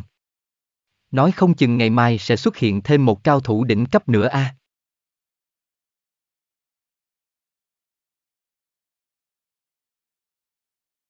Chương 442, Ái tình chi tâm NPC của Minh Gia Thành đang sắp xếp, chuẩn bị các trận thi đấu tiếp theo. Thời gian trước tà ác liên minh đánh bại thiên sứ liên minh, chiếm lĩnh Thánh Quan Thành, làm cho đám NPC này nở mày nở mặt. Phần thưởng nhiệm vụ cho các ngoạn gia cao hơn bình thường không ít, họ lấy được rất nhiều thứ tốt. Vì muốn thiết lập quan hệ thân cận với NPC mà không ít ngoạn gia đang bận rộn ở quanh đó. Sau một ngày thi đấu, Minh Dạ Thành dần chìm vào im lặng, chỉ còn một số ngoạn gia trong các quán rượu đang thảo luận về những trận đấu ban ngày. Ánh trăng huyền ảo chiếu xuống, phủ lên Minh Dạ Thành một tầng ngân sa diễm lệ. Tiêu Ngự và Triệu Lam Hinh đang nhẹ bước giữa phố khuya, hưởng thụ một chút yên tĩnh của đêm khuya. Tiểu Vũ Nha đâu kia thăng cấp cũng rất nhanh à, mới đây đã 25 cấp rồi. Tiêu Ngự cười nói. Có thể không nhanh được sao, hơn 20 cấp mà đã mặc nguyên một bộ sử thi rồi. Điều này cũng đúng. Tiêu ngự gãi gãi đầu. Một thân trang bị của tiểu vũ đủ làm cho nạn có thể khiêu chiến ngoạn gia hơn 30 cấp rồi. Tiêu ngự cầm tay triêu lam hình, nghĩ đến phải rời khỏi trái đất đi đến nơi khác tiêu ngự không khỏi cảm khái. Đó không phải nơi hắn đã sinh, một vùng đất xa người mẹ và những kế hoạch hắn đã tính. Trích, Pha Awiwaji, trái đất ô nhiễm cực kỳ nghiêm trọng, đã không còn thích hợp để sinh sống nữa. Rất nhiều người phải lưu lại, không phải họ không muốn rời đi mà là vì họ không có tiền. Vé tàu rời trái đất giá hơn 2.000 vạn, nếu không phải trong trò chơi tiêu ngự kiếm được một mớ kha khá, thì căn bản hắn và tiểu vũ không hề có cơ hội rời đi. Hệ sinh thái của trái đất đã bắt đầu được cải tạo, nghe nói cần tới 12 năm mới có thể hoàn toàn khắc phục ô nhiễm. Triêu Lam Hinh khẽ thở dài, thân là bác sĩ, nàng đương nhiên hiểu được trong 12 năm này những người ở lại sẽ gặp phải nguy hiểm như thế nào. Nếu 12 năm sau chúng ta trở về, chỉ sợ cảnh còn người mất. Tiêu ngự nói. Đã lâu không được thoải mái dạo chơi như thế này, trang bị của tiêu ngự đã đạt tới đỉnh phong, tạm thời không có gì cần thay đổi, chỉ còn đợi lên sàn đấu mà thôi. Phong giả đã tổ chức một cái đoàn đội đi soát đặc thù quái, cấp bậc của bọn họ cũng chưa tới 60, thừa dịp thi đấu đoàn đội chưa bắt đầu tranh thủ đem cấp bậc tăng lên một ít. Đang là ban đêm nên họ cũng không dám tới khu vực cao, chỉ soát quái ở khu vực phổ thông 60 cấp mà thôi. Tiêu ngự, có thể để Tiểu Lam qua đây giúp ta một chút không? Phong giả cười nói. Ngươi một cái đại công hội hội trưởng, không lẽ không tìm được mấy tên pháp sư, mục sư sao? Tiêu ngự buồn bực nói, khó khăn lắm mới có cơ hội ở chung với Tiểu Lam, hắn sao có thể dễ dàng đồng ý được. Tiểu Lam qua đó căn bản là một tên cu ly, phải soát quái không ngừng. Một mình Tiểu Lam có thể sánh với mấy người a. Phong giả nói, không được, việc này không cần thương lượng nữa. Tiêu ngự kiên quyết nói. Được rồi. Phong giả bất đắc dĩ thở dài, chỉ đành theo ý tiêu ngự mà thôi. Quả thật có triệu lam hình tốc độ thăng cấp sẽ nhanh hơn một chút, nhưng cũng không thể quấy rầy họ được. Đành phải tìm một số hỏa pháp sư vậy, tuy hơi kém so với triệu lam hình nhưng chênh lệch cũng không nhiều lắm. Tiêu ngự và triệu lam hình tìm một cái quán ba ngồi xuống, bên tai nghe được các ngoạn gia xung quanh đang thảo luận về các trận đấu. Không ngờ đề tài của họ lại chính là Tiêu Ngự và Triệu Lam Hinh. Tiêu Ngự và Triệu Lam Hinh nhìn nhau cười, đành ngồi xuống dưới, kêu hai ly rượu cốc tai. Kỳ thật cái gọi là cao thủ cũng không phải cao xa gì, chỗ khác biệt với người thường là tốc độ phản ứng nhanh hơn mà thôi. Tiêu Ngự cười cười, mấy lời này đúng là đã đánh trúng trọng tâm, võ công trong thiên hạ cái gì cũng phá được. Nhưng chỉ có nhanh, nhanh cực độ là không phá được mà thôi. Thiên hạ có mấy người có thể đạt tới mức nhanh không thể phá đây. Dê dê, phải công nhận là về khoản chiến thuật và lý luận võ công ốc sên ẹ thật, mấy chương lúc trước đọc chiến thuật của bé Tiêu đã chuối rồi, giờ thêm cái này nữa, cũng không đơn giản vậy đâu, ít nhất sự lý giải kỹ năng của họ cao hơn chúng ta nhiều. Ngươi có thể sử dụng bao nhiêu phần trăm thương tổn của kỹ năng? Nghe nói những cao thủ đạo tặc ít nhất có thể sử dụng hơn 60% còn cao thủ đỉnh cấp như tiêu ngự cơ hồ tiếp cận 100%. Ngươi có thể làm được sao? Ngoạn gia kia nhất thời nghẹn họng. Tiêu ngự một bên tán gẫu với Triệu Lam Hinh, một bên ngẫu nhiên nghe các ngoạn gia xung quanh nói chuyện phím, đây cũng là một loại lạc thú a, dê dê, lạc thú cái khỉ, ngồi hóng chuyện còn biện hộ, gặp ta là không có vào quán ba đâu, phải đi mấy nơi hấp dẫn kìa, hắc hắc. Lướt mắt quanh quán ba, thấy trong góc một đôi tình nhân đang hôn nhau, Tiêu ngự thấp giọng trêu chọc, hay là chúng ta thử giống họ đi. Nói xong lại còn nhéo nhéo cánh tay Triệu Lam Hinh nữa. Huynh giá, đừng cho là mùi dễ bị khi dễ. Triệu Lam Hinh liếc tiêu ngự, nhéo hông hắn một cái. Cặp má ửng đổ, hiển nhiên là nàng không thích ứng vói không khí trong này rồi. Thưa quý ông, quý bà và các vị tiên sinh, nếu các vị có hứng thú thì chúng ta sẽ tổ chức một trò chơi nhỏ, người chiến thắng sẽ là nhân vật chính của Nguyệt Sắc Tử Quán, được tặng ái tình chi tâm. Trên đài, một người trẻ tuổi khoảng 23, 24 nói, có vài phần phong thái của người chủ trì. Các ngoạn gia nữ ở đây không khỏi phát ra một tiếng thét kinh hãi, không tưởng tượng được cương nhiên có người lấy ái tình chi tâm, trang bị cấp bậc này ra làm giải thưởng cho một trò chơi. Ái tình chi tâm, ở cả ân trạc tư đại lúc vật này cũng có chút danh tiếng. Ngoài những thuộc tính ra nó còn ẩn chứa một câu chuyện xưa. Theo truyền thuyết, Huyết tinh linh là chủng tộc chung tình nhất. Tuổi thọ của họ lên đến mấy ngàn tuổi, nhưng họ vĩnh viễn chỉ có một người bạn đời mà thôi, nếu bạn đời tử vong họ cũng không tái hôn, sống cô độc cả quãng đời còn lại. Mỗi khi huyết tinh linh chết đi trong lòng ngực của nam nhân mình yêu, giọt nước mắt cuối cùng sẽ hóa thành ái tình chi tâm, bầu bạn với người nam nhân đến suốt cuộc đời. Số lượng huyết tinh linh tộc rất ít, ái tình chi tâm này cũng trở thành vật phẩm hy hữu, lưu lạc đến tà ác liên minh lại càng hiếm thấy. Vì câu chuyện tình yêu của ái tình chi tâm mà nó trở thành vật phẩm được rất nhiều nữ ngoạn gia mong ước. Người trẻ tuổi nói xong, tầm mắt nhìn quanh quán ba một vòng.